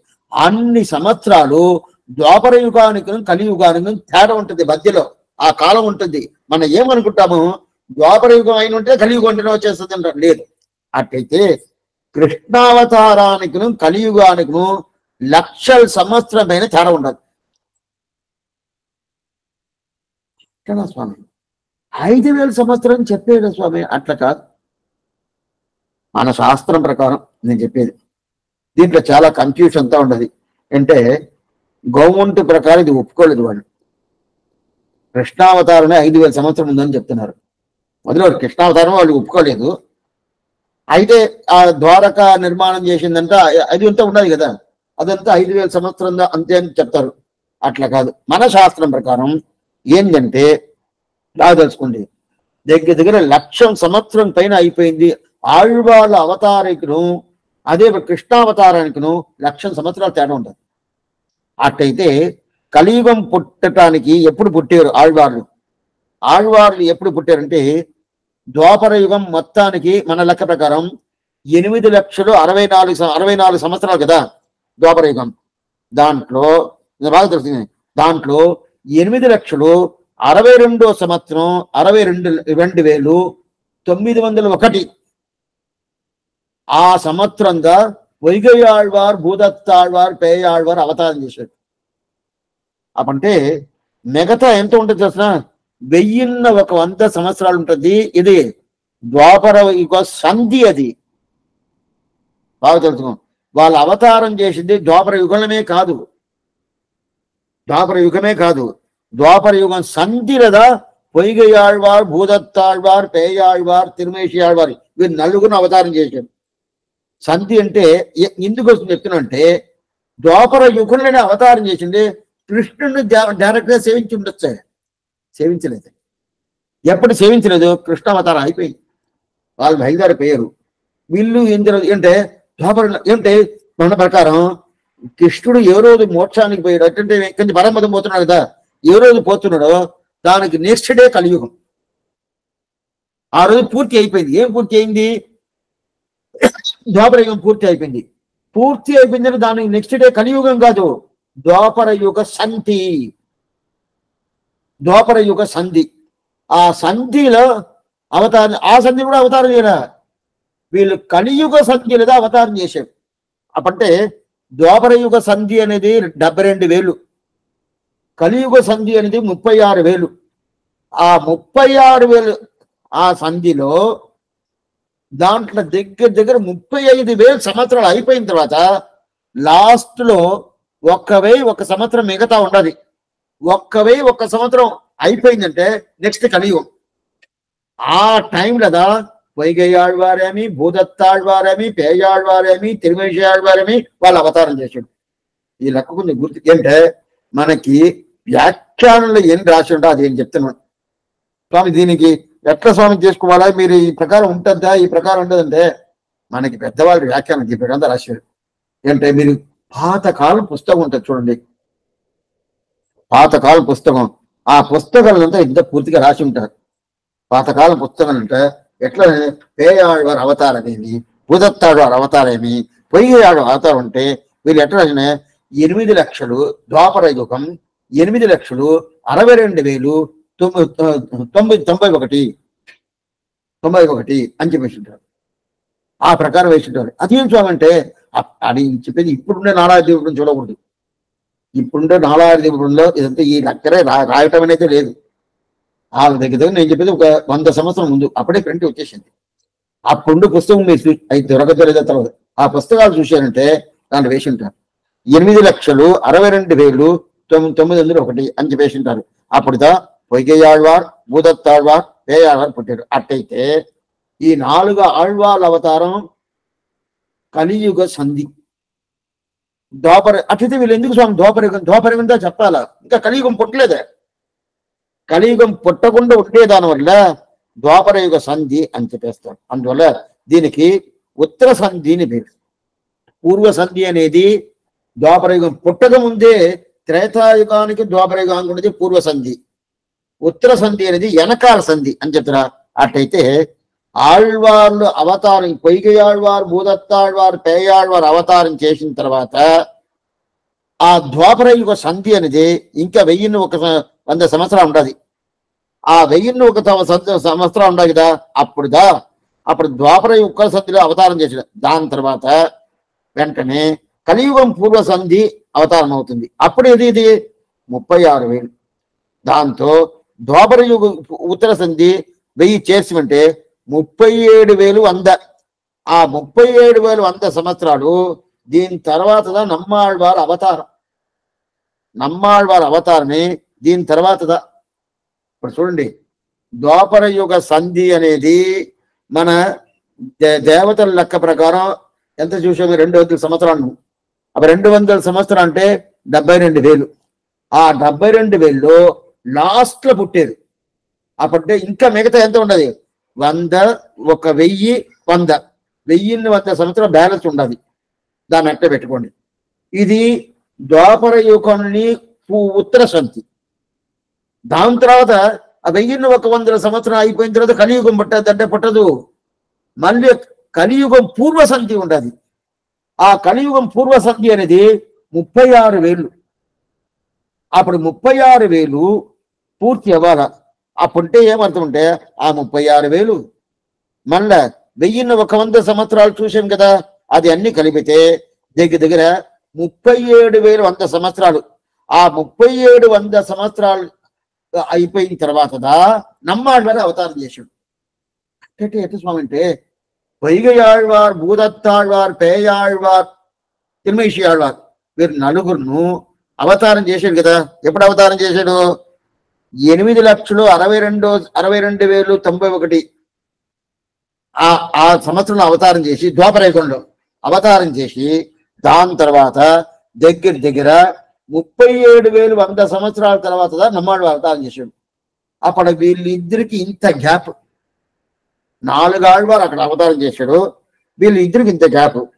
ఇదిదా నమ్మాళ్వారు అవతారం. అయితే నమ్మాళ్వారు ఇప్పుడు అవతారం చేసి ఐదు వేలు ఒక వంద ఇరవై ఐదు సంవత్సరాలు అవుతుంది. అప్పుడైతే ఎప్- కలియుగం ఎంత అడిగితే అది ఏమో అదాన్ని అమ్మాడు వారి అవతార క్రమం అవతార సంవత్సరాలు. ఈరోజు కలియుగం ఎన్నో- సంవత్సరం స్వామి? ఇప్పుడు మనకి ఇంగ్లీష్ డేట్ ఇదే రెండు వేల ఇరవై నాలుగు. కలియుగం ఏం స్వామి? ఐదు వేలు ఒక్క వంద ఇరవై ఐదు. ఇదిదా నమ్మాళ్వారికి పుట్టిన సంవత్సరం ఆ సంవత్సరం దా- నమ్మాళ్వారు అవతారం చేసి ఎన్ని సంవత్సరాలు స్వామి అయింది? ఐదు వేలు ఒక వంద ఇరవై ఐదు సంవత్సరాలు. అంటే కలియుగం పుట్టి అన్ని సంవత్సరాలు. అప్పుడు కలియుగం పుట్టిన రోజు పుట్టిన కలియుగం పుట్టి నలభై రెండో రోజు నమ్మాళ్ళవారు అవతారం చేశాడు. కలియుగం పుట్టి నలభై రెండో రోజు నమ్మాళ్ళవారు అవతారం చేశాడు. అందువల్ల అప్పుడు ఇదంతా కలియుగంలో ఉండేది. అప్పుడు నమ్మాళ్ళవారు అవతరి అవతారం చేసి ఐదు వేలు ఒక వంద ఇరవై ఐదు సంవత్సరాలు అయిపోయింది. సరి స్వామి ఇప్పుడు ఇప్పుడు నమ్మాళ్వారు అవతారం చేసి కలియుగమా? అది సంధి అంటే కలియుగమే. బాగా తెలుస్తుంది నమ్మాడు అవతారం చేసి కలియుగంలో అవతారం చేసాడు సం పూర్వ సంధి ఉత్తర సంధి ఏది లేదు. అంత పూర్తి అయిపోయింది. పూర్వ సంధిలో అవత ఉత్తర సంధిలో అవత ద్వాపర యుగం ఉత్తర సంధిలో అవతారం చేసింది. పొయ్యాళ్వార్ భూదత్తాళ్వార్ పేయాళ్వార్ తిరుమేషి ఆళ్వార్ దాని తర్వాత కలియుగ పూర్వ సంధి అనేది ముప్పై ఆరు వేల సంవత్సరాలు. అప్పుంటే దాంట్లో మిగతా ద్వాపర యుగం ఉత్తర సంధిలో మిగతా ఉండే సంవత్సరాలు వెయ్యిన్ని ఒక వంద. ఆ వెయ్యిన్ని ఒక వంద ఈ ముప్పై ఆరు వేల సంవత్సరాలు రెండు కలిస్తామంటే ముప్పై ఏడు సంవత్ ముప్పై ఏడు వేలు వంద సంవత్సరాలు. అప్పుడు ముప్పై ఏడు వేలు వంద సంవత్సరాలు ఆళ్వ అయిపోయిన తర్వాతదా నమ్మాళ్వారు అవతారం. అయితే ఏం లెక్క? పొయ్గయాళ్వార్ భూదత్తాళ్వార్ పేయాళ్వార్ తిమ్మేషి పుట్టి ముప్పై ఏడు వేలు వంద సంవత్సరాలు అయిపోయిన తర్వాతదా నమ్మాళ్వారు అవతారం చేశాడు. చరి ఇది తెలుస్తుంది ఇది అయితే నమ్మాళ్ళ అవతారం కలియుగంలోనే అవతారం చేశాడు. చరి స్వామి అప్పుడు ఇప్పుడు కలియుగానికి ఎన్ని సంవత్సరాలు స్వామి? కలియుగానికి వెయ్యిన్ని రెండు వందల సంవత్సరాలు దేవతల లెక్కగా చెప్పాను కదా. అప్పుడు దేవత లెక్క అనేది ఏమి? మనకు ఒక సంవత్సరం వారికి ఒక రోజు. మనకి మూడు వందల సంవత్సరాలు వాడికి ఒక సంవత్సరం. ఈ లెక్క పెట్టుకోండి. ఆ లెక్కలో మనం చూసాము. అటైతే ఇప్పుడు మనకి మూడు వందల సంవత్సరాలు మూడు వందల అరవై సంవత్సరాలు వాళ్ళకి ఒక సంవత్సరం అయిపోయిందంటే దేవతల లెక్క ప్రకారం వెయ్యి సంవత్సరాలు కలియుగం. అప్పుడు వెయ్యి సంవత్సరాలు కలియుగం అనేది దేవతల లెక్క ప్రకారం. మన లెక్క ప్రకారం రావాలంటే దాన్ని మల్టిప్లై చేయాలి మూడు వందల అరవై. మూడు వందల అరవై మల్టిప్లై చేశానంటే ఏమవుతుంది? మూడు లక్షల అరవై సంవత్సరాలు. ఇద్దా కలియుగం. స్వామి మీరు నాలుగు లక్షల ముప్పై రెండు సంవత్సరాలు చెప్పారే స్వామి అంటే అది పూర్వ సంధి ఉత్తర సంధి రెండు కలిసి. పూర్వ సంధి ముప్పై ఆరు వేలు. ఉత్తర సంధి ముప్పై ఆరు వేలు. అప్పుడు పూర్వ సంధి ఉత్తర సంధి ముప్పై ఆరు వేలు ముప్పై ఆరు వేలు డెబ్బై రెండు వేలు. ఇప్పుడు మూడు లక్షల అరవై సంవత్సరాలు. దాంతో కూడా డెబ్బై ఆరు వే డెబ్బై రెండు వేలు. కలిసి అంటే ఏంటనే ఎంత అవుతుంది నాలుగు లక్షలు దగ్గర దగ్గర ఎంత అవుతుంది నాలుగు లక్షలు ముప్పై రెండు వేలు అవుతుంది. ఇదా కలియుగం. ఇది కలియుగం. అయితే దీనిలో సంధి అనేది ముప్పై ఆరు వేలు ముప్పై ఆరు వేలు. ఆ సంధిల అవతారం ఎవరు చేశాడు ఇప్పుడు ద్వాపర యుగ సంధిలదా ఉత్తర సంధిలదా నాలుగు వారు అవతారం చేశాడు అటైతే సరే స్వామి ఇప్పుడు దీంట్లో ఎవరు అవతారం చెప్పిన ఇప్పుడు మధుర కవి వారి అవతారం చెప్తాను చూడండి.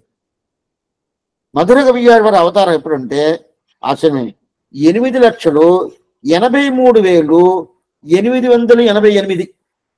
లెక్క పెట్టినారు ఎనిమిది లక్షలు ఎనభై మూడు వేలు ఎనిమిది వందల ఎనభై ఎనిమిది. వెంటనే మనకు ఒక సందేహం వస్తుంది. స్వామి మీరు ద్వాపర యుగమే ఎనిమిది లక్షలు ఎనిమిది లక్షలు అరవై నాలుగు వేలు అని చెప్పారు. బాగా తెలుసుకోండి ఎనిమిది లక్షలు ద్వాపర యుగం ఎన్ని? ద్వాపర యుగమే పూర్తిగా మన లెక్క ప్రకారం. ద్వాపర యుగం అనేది మన లక్ష ప్రకారం ఎనిమిది లక్షలు అరవై నాలుగు వేలు. అయితే ఇప్పుడు ఈ పుస్తకంలో ఏం రాసి ఉన్నాయంటే మన పన్నీరాయన పడిన గ్రంథం ఆ గ్రంథంలో మదరగవి ఆళ్వారు అవతారం చేసింది ఎనిమిది లక్షలు ఎనభై మూడు వేలు ఎనిమిది వందల ఎనభై ఎనిమిది అని సంవత్సరాలు అని చెప్పేసినాడు. ద్వాపరయుగంలో ఎనిమిది వందల అరవై నాలుగు వేలే. దాని తర్వాత లేదు. అయితే ఇప్పుడు ఈయన రాసినది ఎనిమిది వందలు ఎనభై మూడు వేలు రాసినది. తప్పుగా వస్తుంది స్వామి. అప్పుడు వాళ్ళు తప్పు తప్పు చెప్పారు. నాకు తప్పు కాదు. వీళ్ళు ఏం లెక్క ఇది ఏం లెక్క తెలుసా? ఈ లెక్క అనేది ఇప్పుడు ఎనిమిది వ- ఎనిమిది లక్షలు అరవై నాలుగు వేలు ఇది ద్వాపరయుగం ద్వాపరయుగం చెప్పాను కదా. ఈ ఎనిమిది లక్షల అరవై నాలుగు వేలు పూర్వ సంధి ఉత్తర సంధి రెండు కలిసింది. అయితే దాని తర్వాత మళ్ళా కలియుగానికి పూర్వ సంధి కావాలి కదా. ఆ పూర్వ సంధి కలు ఎంత? ముప్పై ఆరు వేల సంవత్సరాలు. ఆ ముప్పై ఆరు వేల సంవత్సరాలు ఎనిమిది లక్షల అరవై నాలుగు సంవత్సరంతో కలిశారంటే ఇంకా ఎక్కువ అవుతుంది. అప్పుడు ఎత్తినప్పుడు అప్పుడు ఎనిమిది లక్షల ఎనభై మూడు సంవత్సరాలు ఎనభై మూడు ఎనభై మూడు వేలు ఎనిమిది వందల ఎనభై ఎనిమిది అని చెప్పారు కదా.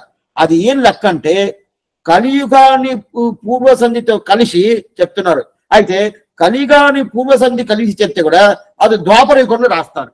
అందువల్ల మధుర కవి ఆళ్వారు అవతారం చేసింది అనేది కలియుగంలో కాదు. అదే ప్రకారం వైగయాళ్వార్ భూదత్తాళ్వార్ పేయాళ్వార్ తిరుమేశ్వరాళ్వార్ అవతారం చేసింది కలియుగంలో కాదు. అయితే ఇద్దరు కొంచెం తేడా ఉంటుంది. మధురగవి ఆళ్వారు అవతారం చేసింది కలియుగం పూర్వ సత్యులు అవతారం చేశాడు. అదే వైగయాళ్వారు భూదత్తాళ్వారు పేయాళ్వారు తిరుమేశ్వర అవతారం చేసింది ద్వాపర యుగం ఉత్తర సంధ్యులు అవతారం చేశాడు. ఇది దీంట్లో ఏం కన్ఫ్యూషన్ లేదు. అయితే ఎందుకోసం కృష్ణుడిని వీళ్ళు చేయించలేదు కృష్ణుడు బయట పేట కృష్ణుడికి వీళ్ళకి దగ్గర దగ్గర లక్షల సంవత్సరాలు తేడా ఉంటుంది అని చెప్తారు. దీని విషయం ఏమనేది కొంచెం మీకు కన్ఫ్యూషన్గా ఉంటుంది. మళ్ళీ మళ్ళీ వినాల? అంటే లెక్కలంటేనే కొంచెం మనకి అంటే మన అంటే అంటే ఉడుగుని పోతా ఉంటాము. కొత్త కొత్త లెక్కంతా చెప్తే చెప్తే ఏమే కాదు ఏం భయపడద్దు. మళ్ళీ మీరు వింటే అర్థమైపోద్ది. ఆళ్వారం మీరు మోనార్జీ తుల్యేషణం ఆచార్యం త్రివిలేషణం భగవత తిరువణిగలే. चरणम्।